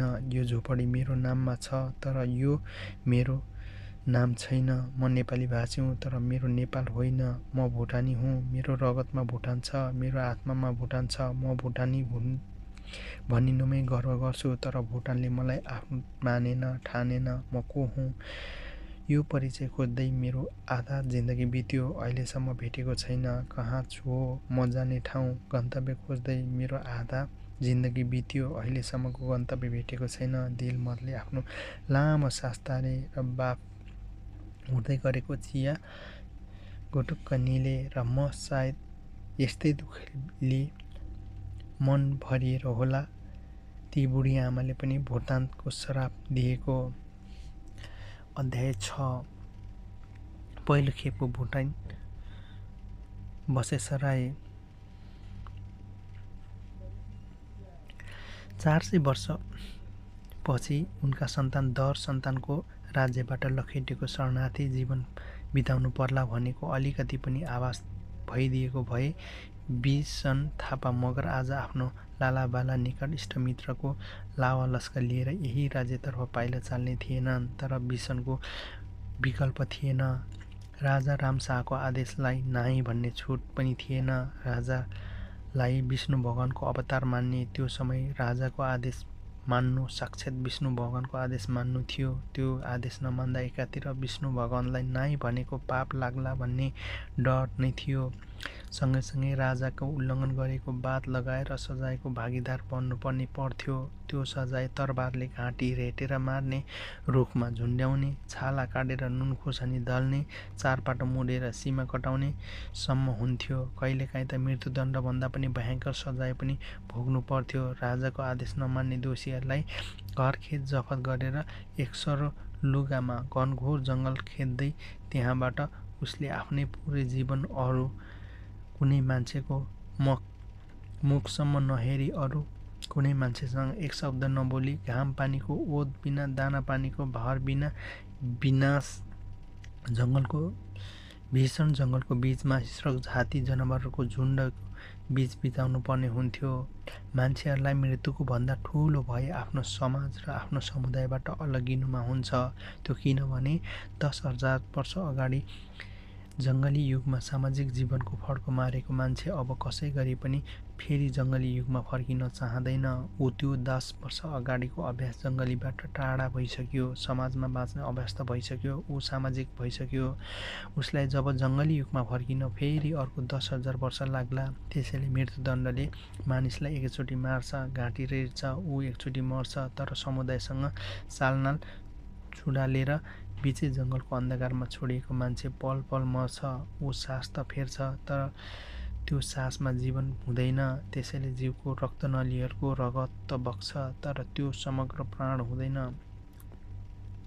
विसन थापा मगरलाई त्यो भयङ्कर सजायको भागीदार हुनु थिएन। उनी चुपचाप एउटा अनिश्चित गन्तव्यतर्फ पाइला चाल्दै थिए। त्यहाँबाट चार सय वर्ष अघि उनका सन्तान दर सन्तान शरणार्थी बनाएर लखेट्दै थियो। त्यहाँसम्म कि सम्भावना पनि छ। सायद बिसन थापा मगर आफै पनि गन्तव्य पुग्न चाहन्थे।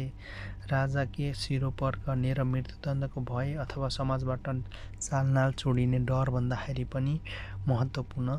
स्वयं आफूले खुसी खुसीले गन्तव्य रोजेका थिए। त्यसैले त दिनको दोस्रो प्रहरमा जब राजा रामशाहले गोर्खाका दरबारमा भारदार हरूको आकस्मिक बैठक डाकेर एउटा ठुलो समूहको नेतृत्व गर्दै भोटान्त जानुपर्ने निर्णय सुनाएर त्यो समूहको नेतृत्व गर्ने जिम्मा आफूलाई सुम्पे बिसन थापा मगरको ओठबाट हल्का मुसा नाचेको थियो। तँलाई ठिक लाग्छ भने श्रीमती र केटाकेटी पनि लैजान सक्छस्। राजा रामशाहले सोधे के भन्छस् त विषय? घर व्यवहारको अप्ठ्यारो त छैन नि। राजाले यसो सोध्नु भनेको बिसनलीका निम्ति नाइ भन्ने पर्याप्त अवसर थियो तर उनले भनेनन्। बालबच्चा पनि सँगै लैजाने अनुमति त उनलाई मनको भारी विषय जस्तै हल्का भएको थियो। राजाको राजाको अगाडि धनुष्टङ्कार गर्दै हुँदै आफ्नो आज्ञा सिरोपर गरेर भने कुनै अप्ठ्यारो छैन महाराज। हजुरको सेवा गोर्खाली समूहको नेतृत्व गर्दै भुटान जान तयार छ। गोर्खालीको मान बिसनको मान गोर्खालीको मानको खाते ज्यान दिन तयार छु महाराज। या बात? मैले तँबाट यही आश गरेको थिएँ विषय ल त्यसो भए आजको दस रोज पछाडि चालिस पचास परिवार टोली लिएर भुटान जान तयार हुनु राजाले आदेश दिए। चाहिँदो बन्दोबस्त मिलाउनु घर व्यवहार केही मिलाउनु छ भने यो दस रोजमा सल्टाउनु र दस रोज पछाडि दिनको पहिलो प्रहरमै सवारी चलाउनु।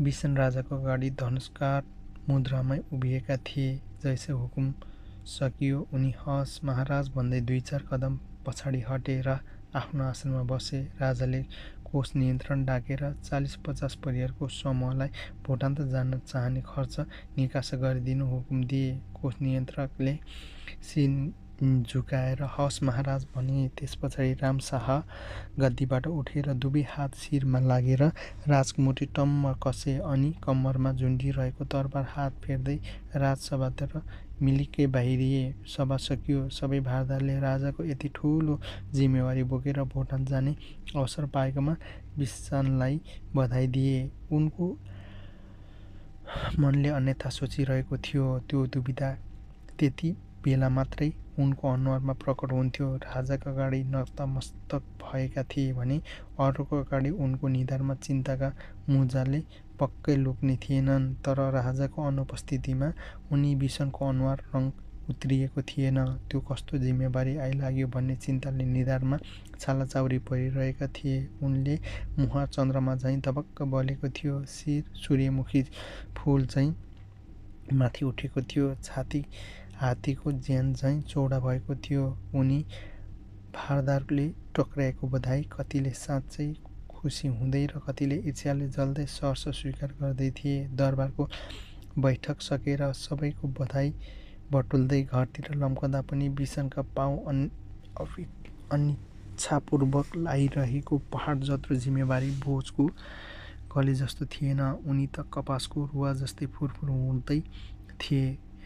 मृग चाहिँ बुर्कुसी मार्दै घरको आँगनमा पुगे भोटन जानुपर्ने राजाको उनले मनमा अलिकति पनि सङ्कोच भुल्न बुल्लक्क उम्लेको भए उनको कोठामा छिर्ने बित्तिकै शिरको टोपी पनि नफुकाली आफ्नी अर्धाङ्गिनीलाई गर्वसाथ भन्ने थिएनन्। म गोर्खाली राजाको आदेशअनुसार चालिस पचास परिवारको समूह लिएर भोटान जाँदैछु। दस रोजमै सवारी चल्नु छ। अर्धाङ्गिनीले बरु भोटान भनेको कहाँ हो? के हो? कस्तो होला भनेर सोधी खोजी गर्दै सुर्ता जताइन्। बिसनलाई त यति सुर्ता पनि थिएन भने जहाँ जहाँ होस् जस्तो सुकै होस् गोर्खाली राजाको आदेश पालना गर्नु हाम्रो कर्तव्य हो। फेरि तिमीले किन सुर्ता लिन्छौ? तिमी र केटाकेटीहरू पनि त जाने मसँग। हो र बिसनकी अर्धाङ्किनी चेहेरा एकैछिनमा गुलाबी फुल चाहिँ फक्रियो अनि केही भन्नु भएन त बिसन कमक्क परे तिमीलाई तर्साइदिएको। कस्तो मान्छे क्या हजुर त। उनी मुख रातो पार्दै बिसनसँग टाँसिन् र गइन् अनि लाडे पल्टिँदै भनिन् एकछिन त सास उल्लुक्कै भएर आयो नि। यो घडी अर्धाङ्गिनीलाई अँगालो बेर्दै गर्दा सायद बिसनका आँखा कोठाको खापा बाहिर रहेको डाँडा र त्योभन्दा निकै परको मनासले हिमालको टल्किरहेको अस्ताउँदो घामको किरणसँगै एकरो थियो। सायद उनै आँखा त्यही वा त्यस्तै कुनै हिमाल पारीको भुटान त खोज्दै थिए।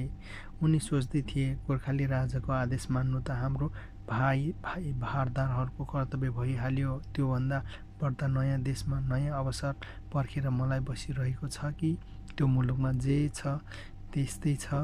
यो मुलुकको के छ कसलाई पत्तो भोटको लासामा सुन छ भन्छन्। भुटानमा त सुनको जलब वा त्यो पनि नभए नुन कस्तो नहोला। त्यहाँ त सुन न नुन। यहाँ त झन् न सुन न नुन। यति बेला बिसनको मुहारमा मनास्लो हिमालको घाम टल्के जत्तिकै टलक्क टल्किएको उनकी द अर्धाङ्गिनीले पत्तै पाएनन्। मनस्लो हिमालबाट साक्षी बनेर अर्धाङ्गिनीलाई अँगालोमा च्याप्दा बिसनले जे सोचे त्यही सोचे राजसभामा रामशाहले आदेश सुन्दै गर्दा उनको मनमा चिपिक्क बलेको थियो कि त्यही जेलकाले बिसनलाई खुसी खुसी राजाज्ञा मान राजी गराएको हो कि के बेर? तर मनमा आशाको झिल्को बले पनि चार सय वर्षपछि आफ्नो सन्तान दर सन्तानले भोटानबाट लखेटिएको शरणार्थी जीवन बिताउनु पर्ला भन्ने अलिकति पनि आभास भइदिएको भए बिसन थापा मगर आज आफ्नो लालाबाला र निकट इष्टमित्रको लावा लस्कर लिएर त्यहाँ राज्यतर्फ पाइला चाल्ने थिएनन्। कुनै हालतमा पाइला चाल्ने थिएनन्। कथा श्रृङ्खलाको यो अध्याय पनि हामी आजभन्दा चार सय वर्ष अघिको पहिलो खेपमा गोर्खाबाट तत्कालीन भुटानमा बसाइ सरेका नेपाली समूहको बारेमा कुरा गर्दैछौँ। नयाँ देश बनाउने नयाँ देश बनाउने भनिएको अभियानमा लागेका भुटानका धर्मराजा श्रापदुङ नवाङ नामगेलले गोर्खाको जस्तै व्यवस्थित शासन प्रणाली पद्धति अपनाउन राजा रामशाहसँग घनिष्ठ सम्बन्ध गाँसेको र विभिन्न कामका लागि चाहिने जनशक्तिको माग पूर्ति गर्नका लागि नेपालीहरूलाई औपचारिक निम्ता गरेको कुरा हामीले अघिल्लो अध्यायमा गरिसकेका छौँ। त्यही सम्बन्धको सेतु छडेर गोर्खाको केही जनता कसरी भुटान पुगे भन्ने अब चर्चा गरौँ। यो सत्रौँ शताब्दीको कुरा हो। विक्रम सम्बत सोह्र सय एकसाठी भुटानका प्रथम धर्मराजा श्राप्दुङ नवाङ नामगेल तत्कालीन नेपालको पहिलो औपचारिक भ्रमणमा आएका थिए। त्यही भ्रमणको क्रममा नामगेलले गोर्खाको शासन पद्धति अनुसार राजा रामशाहसँग सल्लाह विमर्श गर्नुका साथै आफ्नो शासकीय संरचना निर्माणका लागि विभिन्न तहमा रहेर काम गर्नका लागि जनशक्तिको माग गरेका थिए। धर्मराजाको यस्तो माग सुनिसके पछाडि गोर्खाली राजा रामशाहले आफ्नो भारदारहरूसँग परामर्श गरे। उनी त्यसै पनि यत्रो आश लिएर भुटानदेखि गोर्खासम्म आइपुगेका धर्मराजालाई खाली हात पठाउने अवस्थामा थिएनन्। उनीहरूमाथि धर्मराजाको एउटा ठुलो गुण पनि थियो। गोर्खा दरबारमा दाजुभाइ बिच गृह कलहले शान्त भङ्ग हुँदा र गद्दीका उत्तराधिकारीहरू जन्म हुने नसकेको बेला रानीले देखेको सपना अनुसार राम शाहले पनि यिनै धर्म राजा नवाङ नामगेलसँग एक भुटानी लामा पठाइदिन आग्रह गरेका थिए। राजा रामशाहको अनु ग्राह सुनिसके बित्तिकै नवान नामगेलले एकजना तान्त्रिक लामालाई गोर्खा पठाइदिए। तिनै लामाले गोर्खाका दरबारमा आएर तान्त्रिक अनुष्ठान गर सम्पन्न गरिसके पछाडि दाजुभाइ बिच गृह कलह शान्त हुनुका साथै गद्दीमा उत्तराधिकारी डम्बर शाहसहित तिनजना राजकुमारको जन्म भएको थियो। त्यसबारे हामीले अघिल्लो अङ्कमा चर्चा गरिसकेका छौँ। यो गुण फर्काउन र पनि धर्मराजाको माग अनुसार केही गोर्खालीहरूलाई भुटान पठाउनु पर्ने मित्रवत जिम्मेवारी रामशाहमाथि जाइ लाग्यो। उनले सायद त्यो बेला आफ्नी रानी शशी रेखा देवी वा लीलावतीसँग धर्म राजाको मागबारे सल्लाह गरेका हुँदा हुन्। रानीले भनेका हुँदा हुन् यसमा दुविधा किन लिनुहुन्छ महाराज? धर्मराजालाई पुकारे पछाडि गोर्खाका दरबारको कलह शान्त भयो। हाम्रा तिन तिनजना राजकुमारहरू भए अब धर्मराजालाई आवश्यक पर्दा हामीले आफ्नो तर्फबाट सक्दो मद्दत गर्नुपर्छ। हाम्रो राजधर्म पनि हो नि। मित्रवतको कर्तव्यले पनि एउटा मित्रलाई अर्को खाँचो पर्दा अर्को मित्रले निसङ्कोच हात बढाउनुपर्छ भन्छ। रानीको मुखबाट यस्तो सुनिसके पछाडि सायद राजा रामशाह ढुक्क भए होलान् आफ्नो जनतालाई बिरानो देशमा कसरी पठाउने कसलाई पठाउने कसलाई जा भन्ने भोलि कुनै अनिष्ट परिहाल्यो भने त्यो अबकालको भार कसरी बोक्ने भन्ने सोचले मनमा थोरै दुविधा उम्लेकै भए पनि रानीहरूको वचनले रामशाहको मन दृढ भयो होला। उनले भोलिपल्ट दिनको दोस्रो प्रहरमा भाइ भारदारहरूको बैठक डाकेर आफ्नो हुकुम सुकाए। आजको दस हो चालिस पचास गोर्खाली परिवार समूह भुटान जान तयार हुनु यो समूहको नेतृत्व बिसन थापा मगरले गर्नु। गोर्खाली राज परिवारको भुटानसम्म पुग्नका लागि जति खर्च लाग्छ त्यसको अविलम्ब निकासा राज्य कोषबाट गर्नु। राजाको हुकुम भुइँमा झर्न बित्तिकै बिसन थापा मगर तयारी हुन लागे। उनले घर घरमा डुलेर आफ्नोसँग नयाँ भुटान जानका लागि राजी हुन गोर्खाली परिवारमा खोजी गरे।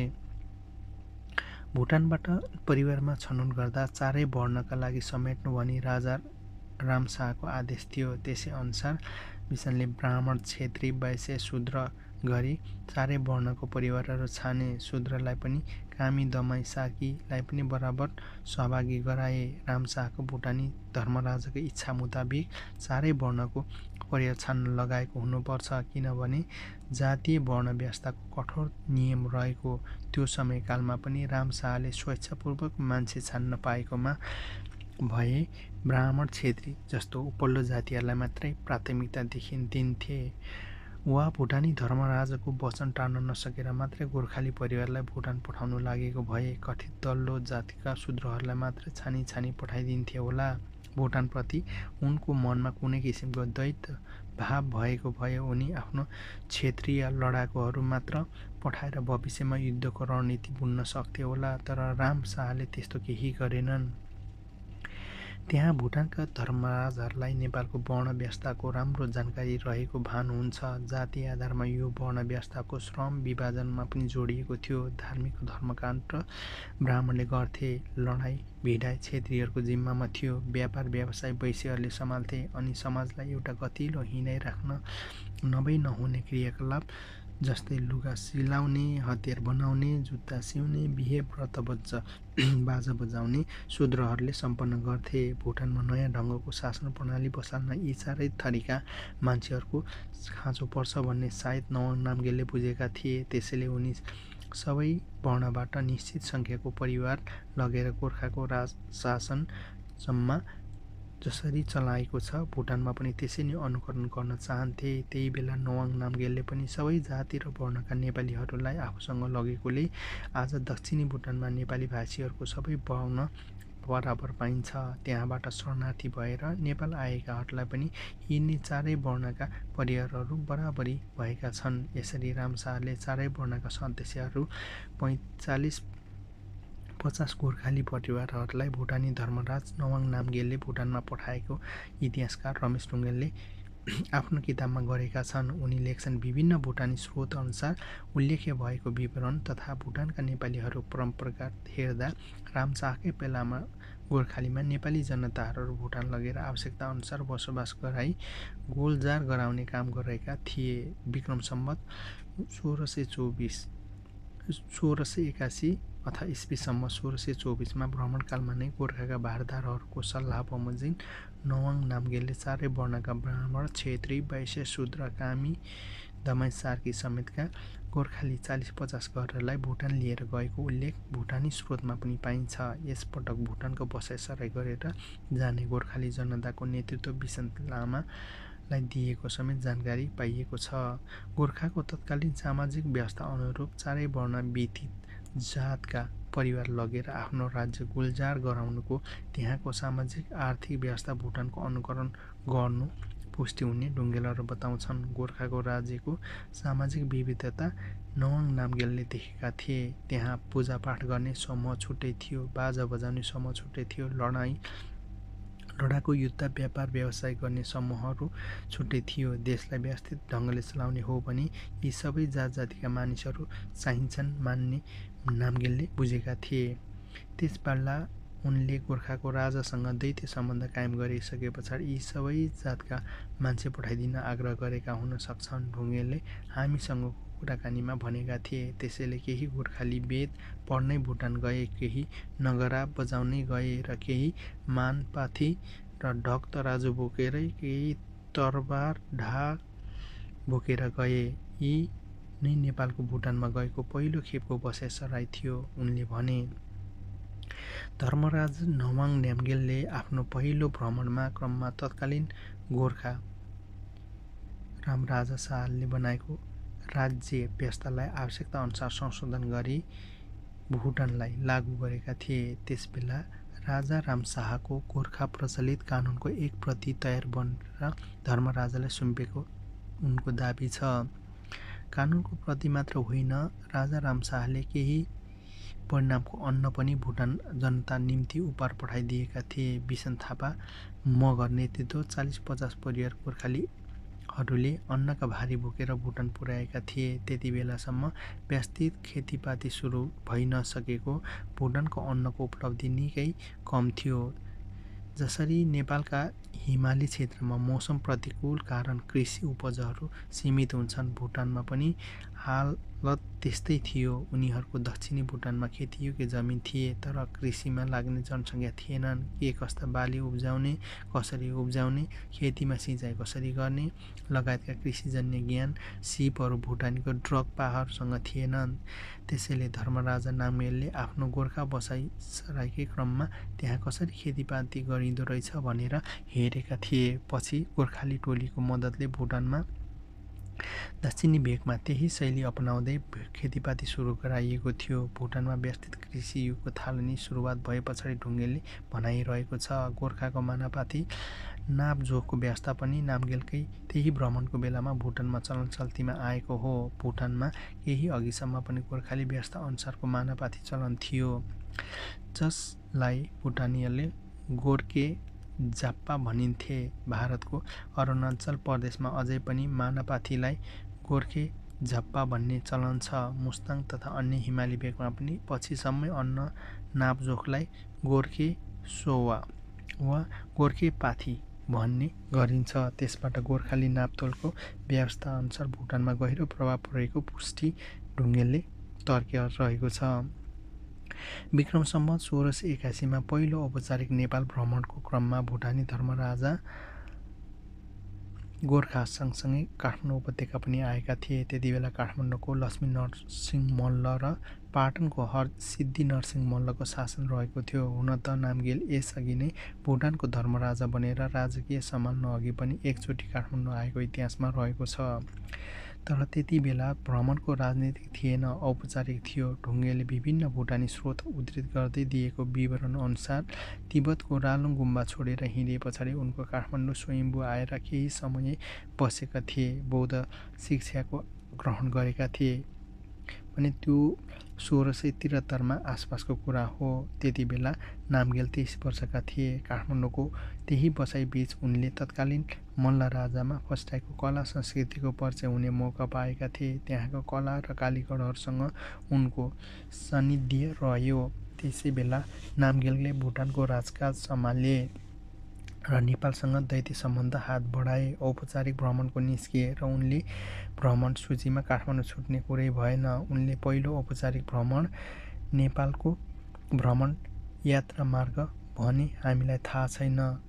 उनी भुटानबाट भोटको बाटो हुँदै पहिलो गोर्खा राज्य गएर त्यहाँबाट नुवाकोट बाटो हुँदै काठमाडौँ पसेको हुन सक्छन् वा भुटानबाट नेपालको पूर्वी किराँत राज्य हुँदै काठमाडौँ आएका त्यहाँबाट नुवाकोटको बाटो हुँदै गोर्खा पुगेको हुन सक्छन्। यी दुई सम्भाव्य यात्रा मार्गबीच विचारमा गर्दा उनी भुटानको पहिलो काठमाडौँ आएर त्यस पछाडि गोर्खा गएका हुन सक्ने सम्भावना बढिरहेको छ किनभने त्यति बेला भोट अर्थात् तिब्बतबाट भुटानको राम्रो सम्बन्ध थिएन। नवाङ नामगेलको भुटानको शासन सम्हाल्न थालिसके पछाडि कैयौँचोटि तिब्बतका एक स्थानीय शासक दक्षङले भोटमा आक्रमण गरेको चर्चा हामीले अघिल्लो अध्ययनमा गरिसकेका छौँ। त्यसैले नवाङ नामगेलले नेपाल भ्रमणमा आउँदा पक्कै पनि शत्रुतापूर्ण सम्बन्ध रहेको भोटको बाटो रोजेनन्। उनी पूर्वी किराँतका राज्य हुँदै पहिलो काठमाडौँ छिरे त्यहाँबाट गोर्खा गए। फर्किँदाखेरि काठमाडौँ हुँदै किराँत राज्य र त्यहाँबाट भुटान छिरेका हुन सक्छन्। त्यसको हिसाबले पहिलो औपचारिक भ्रमणको नामगेलले दुईचोटि काठमाडौँ टेकेको आकलन गर्न सकिन्छ। नामगेलको काठमाडौँ भ्रमणको गोर्खाको जस्तै विशुद्ध राजना राजनीतिक थिएन। त्यहाँ उनको धार्मिक आस्था पनि जोडिएको थियो। विगतमा स्वयम्भूमा बसेर अध्ययन गरेको नाताले उनले यसपालि आउँदाकोले स्वयम्भू दर्शन गरेर लाखपति बालेका थिए। उनी आफ्नै अगुवाईमा स्वयम्भूमा ट्रक काग्यु गुम्बा स्थापना गरेका थिए। उनी उक्त गुम्बा निर्माण गर्न काठमाडौँका राजालाई भुटानी धर्मराजाले आवश्यक जग्गा जमिनहरू दान गरेका इतिहास रहेको छ। यो गुम्बा अहिले पनि स्वयम्भूमा छँदैछ।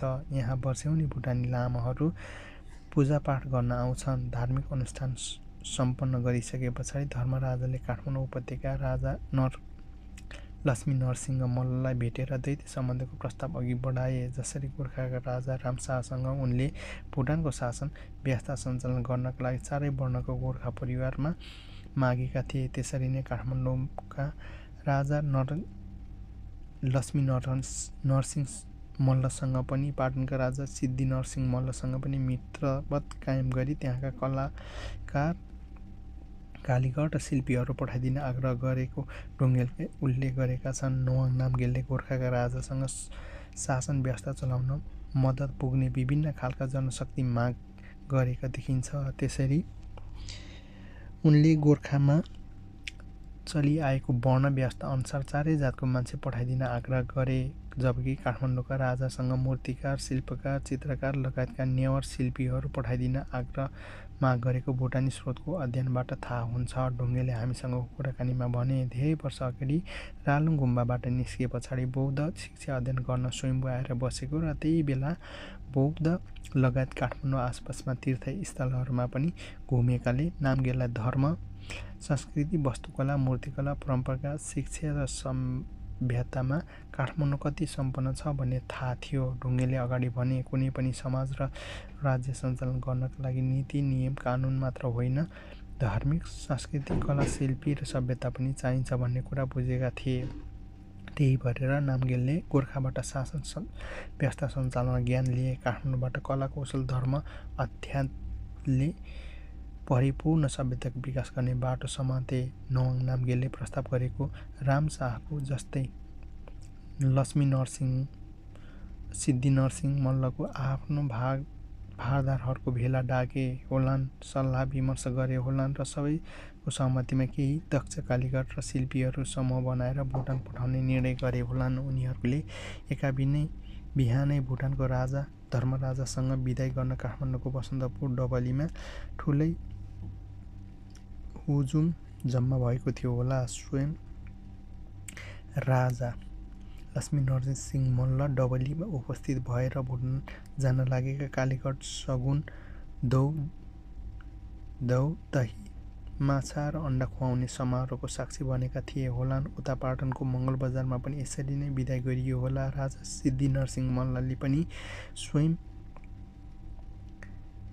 धौ माछा अन्डा खुवाउँदै भुटान पठाएका थिए। होला के बेर जसरी अरनिकोलाई तिब्बत पठाउँदा पाटनका जनता लावा लस्कर सहित राज्यको सीमासम्म छोड्न गएका थिए त्यसरी नै भुटानका राजा भुटान जान लागेका कालीगढहरूलाई विदाय गर्न काठमाडौँ र पाटनका जनता सीमासम्मै पुगेका थिए कि के बेर। त्यति बेला काठमाडौँ र पाटनको कुन कुन परिवारका को को कालीगढ भुटान गए भन्ने इतिहास विवरण छैन को को थिए होलान् त इतिहासले बिर्से पनि ती नेपाली कालीगढहरूले भुटानले देखाएको शिल्प आज पनि भुटानी गुम्बाहरूमा जिउँदा जल्दा उदाहरण बनेका देख्न सकिन्छ। ढुङ्गेलका अनुसार सत्रौँ शताब्दीमा थिम्पू र पुनाखा गुम्बा पुनर्निर्माण गर्दा त्यसलाई चमत्कारिक ढङ्गबाट बौद्ध कलाले सिगार्ने काम नेपाली कालीगढबाट भएको थियो। त्यस्तै नेपाली काली कला कलाकारहरूले त्यसबेला निर्माण गरेको महायानी गौतम बुद्ध सम्प्रदायका ससाना तर उत्कृष्ट धातुका मूर्तिहरू अझै पनि भुटानी गुम्बाहरूमा पाइन्छन्। भुटानको टासी याङ्चे प्रान्तको गोमान खोरा र तोङसा प्रान्तको छाङदोवाजी बनेको दुईवटा स्तूपा पनि नेपाली कालीगढको शिल्पीहरू झल्किन्छ। यी दुवै स्तूपाहरू गुम्बजहरूमाथि दुई ठुला ठुला आँखाहरू चित्रण अङ्कित रहेका छन्। यी शैली स्वयम्भूसँग मिल्दोजुल्दो रहेको छ।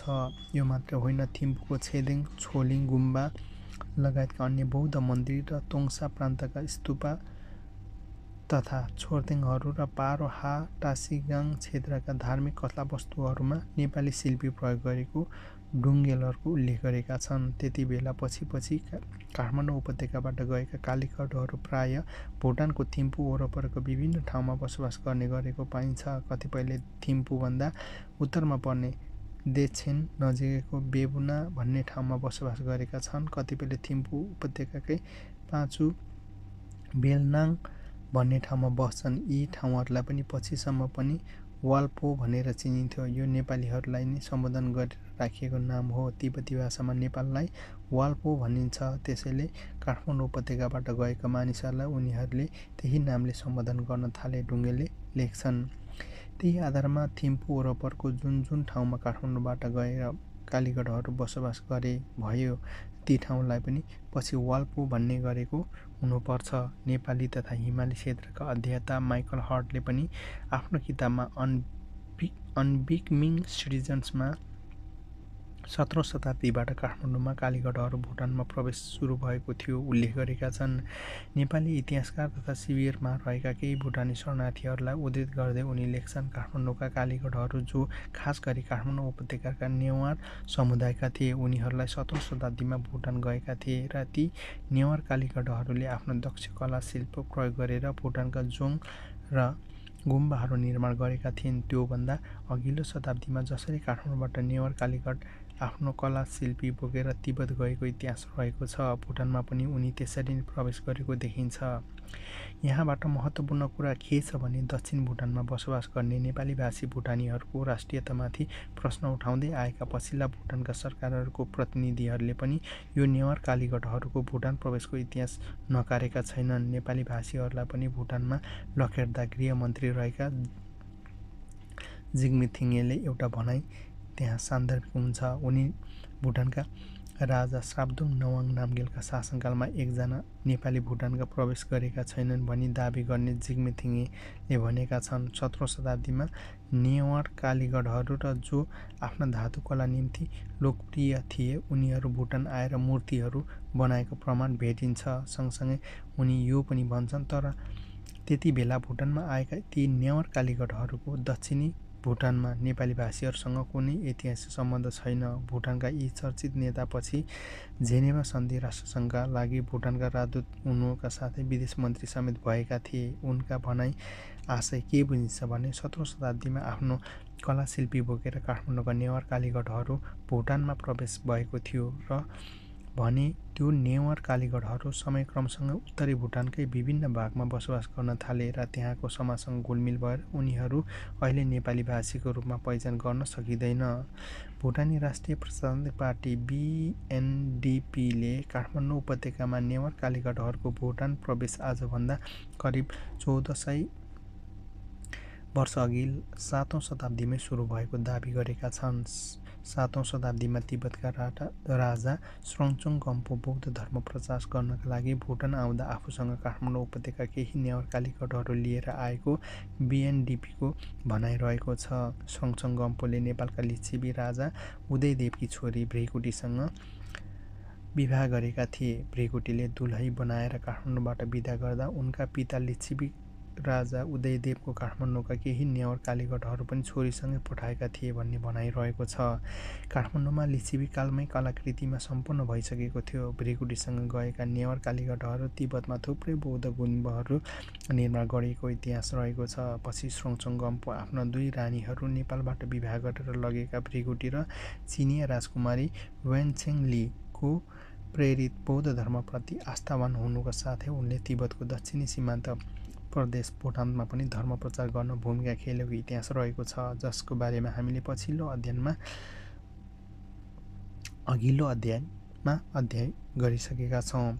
त्यति बेला सँगसँग गम्पोले भुटानको पार र बुन्थिम उपत्यकामा ठुला दुई गुम्बा स्थापना गराएका थिए। पारो उपत्यकाको गुम्बालाई किचु लुखाङ र बुङथाङको उपत्यकाको गुम्बालाई जाम्पे लाङखाङ भनिन्छ। यी दुवै रानीसँग काठमाडौँको तिब्बत पुगेका नेवार कालीगढहरूले भ्रिगुटीको इच्छा मुताबिक बनाएको हुन् भनिन्छ। यी दुईटा सहित एक सय आठवटा गुम्बा नेवार समय कालीगढहरूले सातौँ शताब्दीमा निर्माण गरेको बिएनडिपीको दावी रहेको छ। बिएनडिपीको यस्तो दावीलाई भुटानकै पूर्व विदेश मन्त्री दावा छिरिङले समर्थन गरेका छन्। दावा छिरिङले भारतीय अखबार द स्टेटम्यान लाई सन् उन्नाइस सय एकानब्बे फेब्रुअरी बाइसमा दिएको अन्तर्वार्तामा भनेका छन् नेपालीहरू सातौँ शताब्दीदेखि भुटानको दक्षिणी भूभागमा बसोबास गर्दै आएका हुन्। उनले उनीहरूको स्वागत गर्यौँ किनभने उनीहरू एकदमै मेहनत जनता थिए तर त्यति जति मेहनती भए पनि हामीमाथि हाबी हुने छुट दिन सकिँदैन।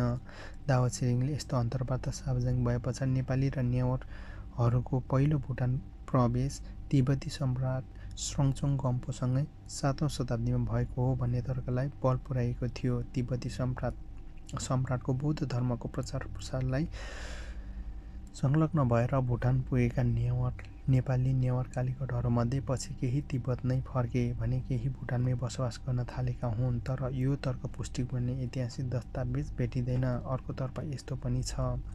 आठौँ शताब्दीमा मध्य भुटानको बुङथाम उपत्यकामा राजाले आफ्नो राज्यमा हाबी भइरहेको प्रेत पिचासमाथि विजय प्राप्त गर्नका लागि दैव शक्ति जोगाउन गुरु पद्मसम्भवलाई निम्ता गरेका थिए। त्यति बेला पद्मसम्भवले बुनथाम लगायतका भुटानका विभिन्न प्रदेश गरी विभिन्न सम्प्रदायका आस्था राख्ने स्थानीय जनतालाई तान्त्रिक शिक्षा दिएका थिए। पद्मसम्भवले भुटान गएका बौद्ध लामाहरूको नेपाली उहाँहरू पनि संलग्न थिए। पद्मसम्भवले विगतमा काठमाडौँको उपत्यका भ्रमण गरेको फपिङ चाँखु लगायतका ठाउँमा बसेर तपस्या गरेको इतिहास रहेको छ।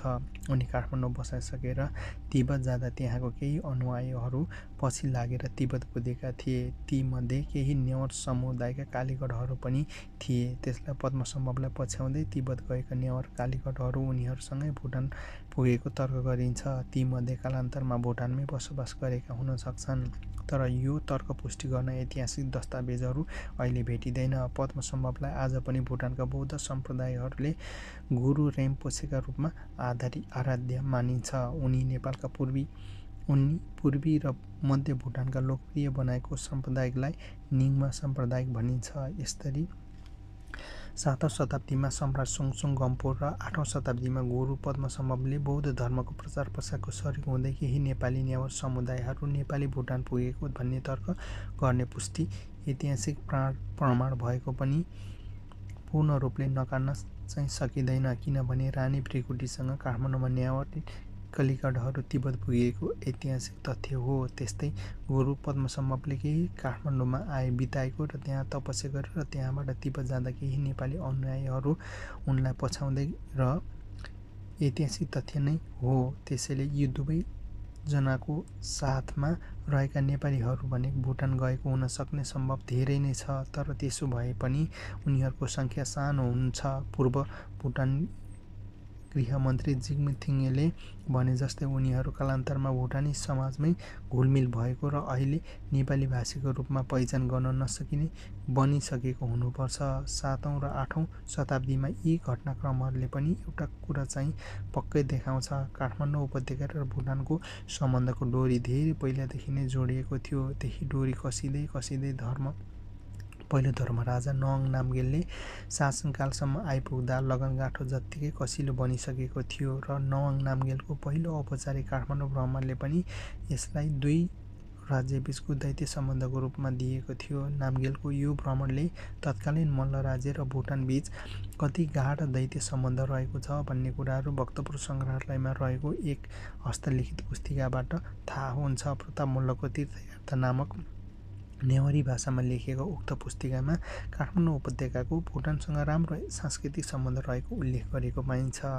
पुस्तिकामा काठमाडौँको राजा प्रताप मल्लले गरेको विभिन्न तीर्थयात्राको वर्णनहरू गरिएको छ भने ती उनी तीर्थयात्राको क्रममा कुन कुन तीर्थस्थलमा पुगे भनेर त्यसमा लेखिएको छ जसमा भुटान अर्थात् भुटानको नाम पनि परेको छ। इतिहासकार रमेश ढुङ्गेलका अनुसार यही पुस्तिकाका आधारमा प्रताप मल्लले भुटानको भ्रमण गरेको मान्न सकिने नसकिने बताउँछन्। पनि यो स्रोतका आधारमा मात्र प्रताप मल्लले भुटान भ्रमण गरेका थिए भनेर ठोकुवा गर्न सकिँदैन। तर यो पुस्तिकामा भुटानको नाम उल्लेख हुनुको भुटानको ड्रक्पा सम्प्रदायका उपत्यकाको मल्ल राजाहरूसँग परेको गहिरो प्रभाव र भुटानको एक प्रमुख बौद्ध तीर्थस्थलको रूपमा रहेको स्पष्ट थप हुन्छ। काठमाडौँ उपत्यकामा मल्ल राजाहरूसँग भुटानको धर्मराजाको निकट भविष्यलाई पनि रसुवाको नागथली गुम्बाकमा रहेको ऐतिहासिक टिपोटले पनि पुष्टि गर्दछ। गोर्खाको दरबार जस्तै काठमाडौँ उपत्यकाको मल्ल राजाहरूको दरबार पनि भुटानी लामाहरूको तान्त्रिक ज्ञानको गहिरो प्रभाव परेको देखिन्छ। टिपोट एकचालिस नम्बर बुदामा भक्तपुर राजाका रणजित मल्ल र भुटानका लामा बीच एउटा घटना समावेश गरिएको छ। राणा रणजित मल्ललाई एकचोटि नाग बेथाले च्यापेछ प्रदूषित पानीको प्रयोगले लागेको रोग नागबेथा भन्ने चलन छ। यसमा झाडा पखालादेखि हैजासम्म पर्छन्। भक्तपुरमा वैद्य गुबाजुहरूले कसैले पनि बेथा निको पार्न नसकिसके पछाडि उनको उपत्यकाका अन्य राज्यबाट वैदिक गुबाजुहरू डाके तर कसैले पनि रणजित मल्लको व्यथा निदान गर्न सकेनन्। आखिर केही सिप नजलिसकेपछि रणजित मल्लले भुटानको धर्मराजसँग मद्दत मागेछन्। त्यही बेलाका धर्मराजाले भुटानी लामा छ्वेङलाई रणजित मल्लको उपचारका निम्ति भक्तपुर पठाइदिए। ती भुटानी लामा भक्तपुर दरबार आएर औषधि उपचार साथै तान्त्रिक विधिबाट पूजापाठ पनि गरे। त्यसबेला ओछेनमा हल चल थला परेका रणजित मल्ल बिस्तारै बौरिन थाले केही दिनमै उनी पुरै तङ्ग्रिँदै राज्यसभा बैठक जान सक्ने भए। नागबेथाबाट पार पाए पछाडि उनी भक्तपुरमै ठगुमा भोगदेव बौद्ध मन्दिरको जग्गा भुटानी लामाको लामालाई दान दिएका विवरण नागथलीमा टिपोट उल्लेख गरेको छ। राज्य स्तरको गाँसिएको यही निकट दैत्य सम्बन्धको सेतु चढेर गोर्खा र काठमाडौँबाट भुटान पुगेका विशल थापा मगर जस्ता पहिलो पुस्ताका नेपालीहरूलाई चार सय वर्ष पछि त्यही मुलुकले आफ्नो सन्तान दर सन्तानलाई शरणार्थी बनाउँछ भने अलिकति पनि आवाज भइदिएको भए उनीहरू पाइला त्यसतर्फ बढ्ने पक्कै थिएन। विशाल थापा मगर बरु मृत्युदण्ड मन्जुर हुन्थ्यो होला। अहिले पनि यो भयङ्कर सजायको समाजसँग सालनाल छोडेर जङ्गलको एकान्त पठाइदिएको भए त्यो पनि खुसी हुन्थ्यो होला। तर भविष्यमा आफ्नो सन्तान दर सन्तानमाथि शरणार्थी बनेर यताउति भौतारिने सायद उनी थिएन गर्दैन होला। राजज्ञा मान्ने आफ्नो निर्णय घनघोर सजाय भविष्यको पुस्ताले चुकाउनु पर्नेछ भन्ने अलिकति पनि शङ्का भइदिएको भए सायद आफ्नै तरबारले सेरिन्थे तर भुटानको पाइला राख्ने थिएनन् होला। यता काठमाडौँ र पाटनका अज्ञात कालीगढहरू जो भुटानको जाने पहिलो नेपाली पुस्ताहरू हुन्। उनीहरू आत् आत्माले पनि आफ्नो शिल्पको मूल्य सन्तानले शरणार्थी बन्नुपर्छ चुकाउनुपर्छ भन्ने देख्दा के ठान्थे होलान् र न विशाल थापा मगर भविष्यको अड्कल थियो न त काठमाडौँ पाटनको कालीगढहरूकोलाई न गोर्खा राम राजाको भविष्य देखेका थिए न त काठमाडौँ राजा लक्ष्मीनारायण सिंह मल्ल वा पाटनका सिद्धि नरसिंह मल्लले। भविष्य द्रौद वा भुटानी धर्मराजा श्रब्दुङ नवाङ नामगेलले पनि थिएनन् होला। त्यही भएर पनि नेपाली भाषीहरूलाई भुटान सार्ने अभियान पहिलो खेपमै रोकिएन। त्यसैले निरन्तरता पाइरह्यो। दोस्रो चरणको बसाइ सराई पहिलो खेप गएको ठ्याक्कै सोह्र वर्ष पछाडि भयो। विक्रम सम्मत सोह्र सय सन्तानब्बेमा त्यो बेला त्यो वर्ष भुटानी धर्मराजा नवाङ नामगेल आफ्नो दोस्रो औपचारिक भ्रमणमा गोर्खा र काठमाडौँ उपत्यका आएका दल बलका साथ उनी यात्रा गर्दा हामीलाई यसपालि पनि थाहा छैन गोर्खा हुँदै काठमाडौँ आए कि काठमाडौँ हुँदै गोर्खा गए? एउटा कुरा चाहिँ उनले त्यसपालि नेपालीलाई ठुलो सङ्ख्यामा आफूसँगै भुटान लिएर गए। दोस्रो खेप भुटानमा गएका उनीहरूको कथा अर्को अङ्कमा लिनेछौँ। अर्को अङ्क अर्को हप्ता आउनेछ। भुटानका राजा धर्मराजा सबदुङ नवाङ नामगेल विक्रम सम्बत सोह्र सय चौरानब्बे निर्माण गरेको पुनाखा जोङ तस्बिर भुटान स्टोर। यो सिलसिलेवार यो नेपालीहरूलाई भुटानले चाहिँ अब निकालेको शरणार्थी बनाएको यो लेख चाहिँ लेखी म राख्दैछु। यो चाहिँ एउटा हिस्टोरिकल एउटा ऐतिहासिक एउटा लेख भएको हिसाबले गर्दाखेरि मैले यहाँ प्रस्तुत गरिराखेको छु। यो यसको खोजबिन चाहिँ सुदीप श्रेष्ठले चाहिँ अब लेख्नुभएको हो। सेतोपातीबाट चाहिँ यो साभार गरेको छु।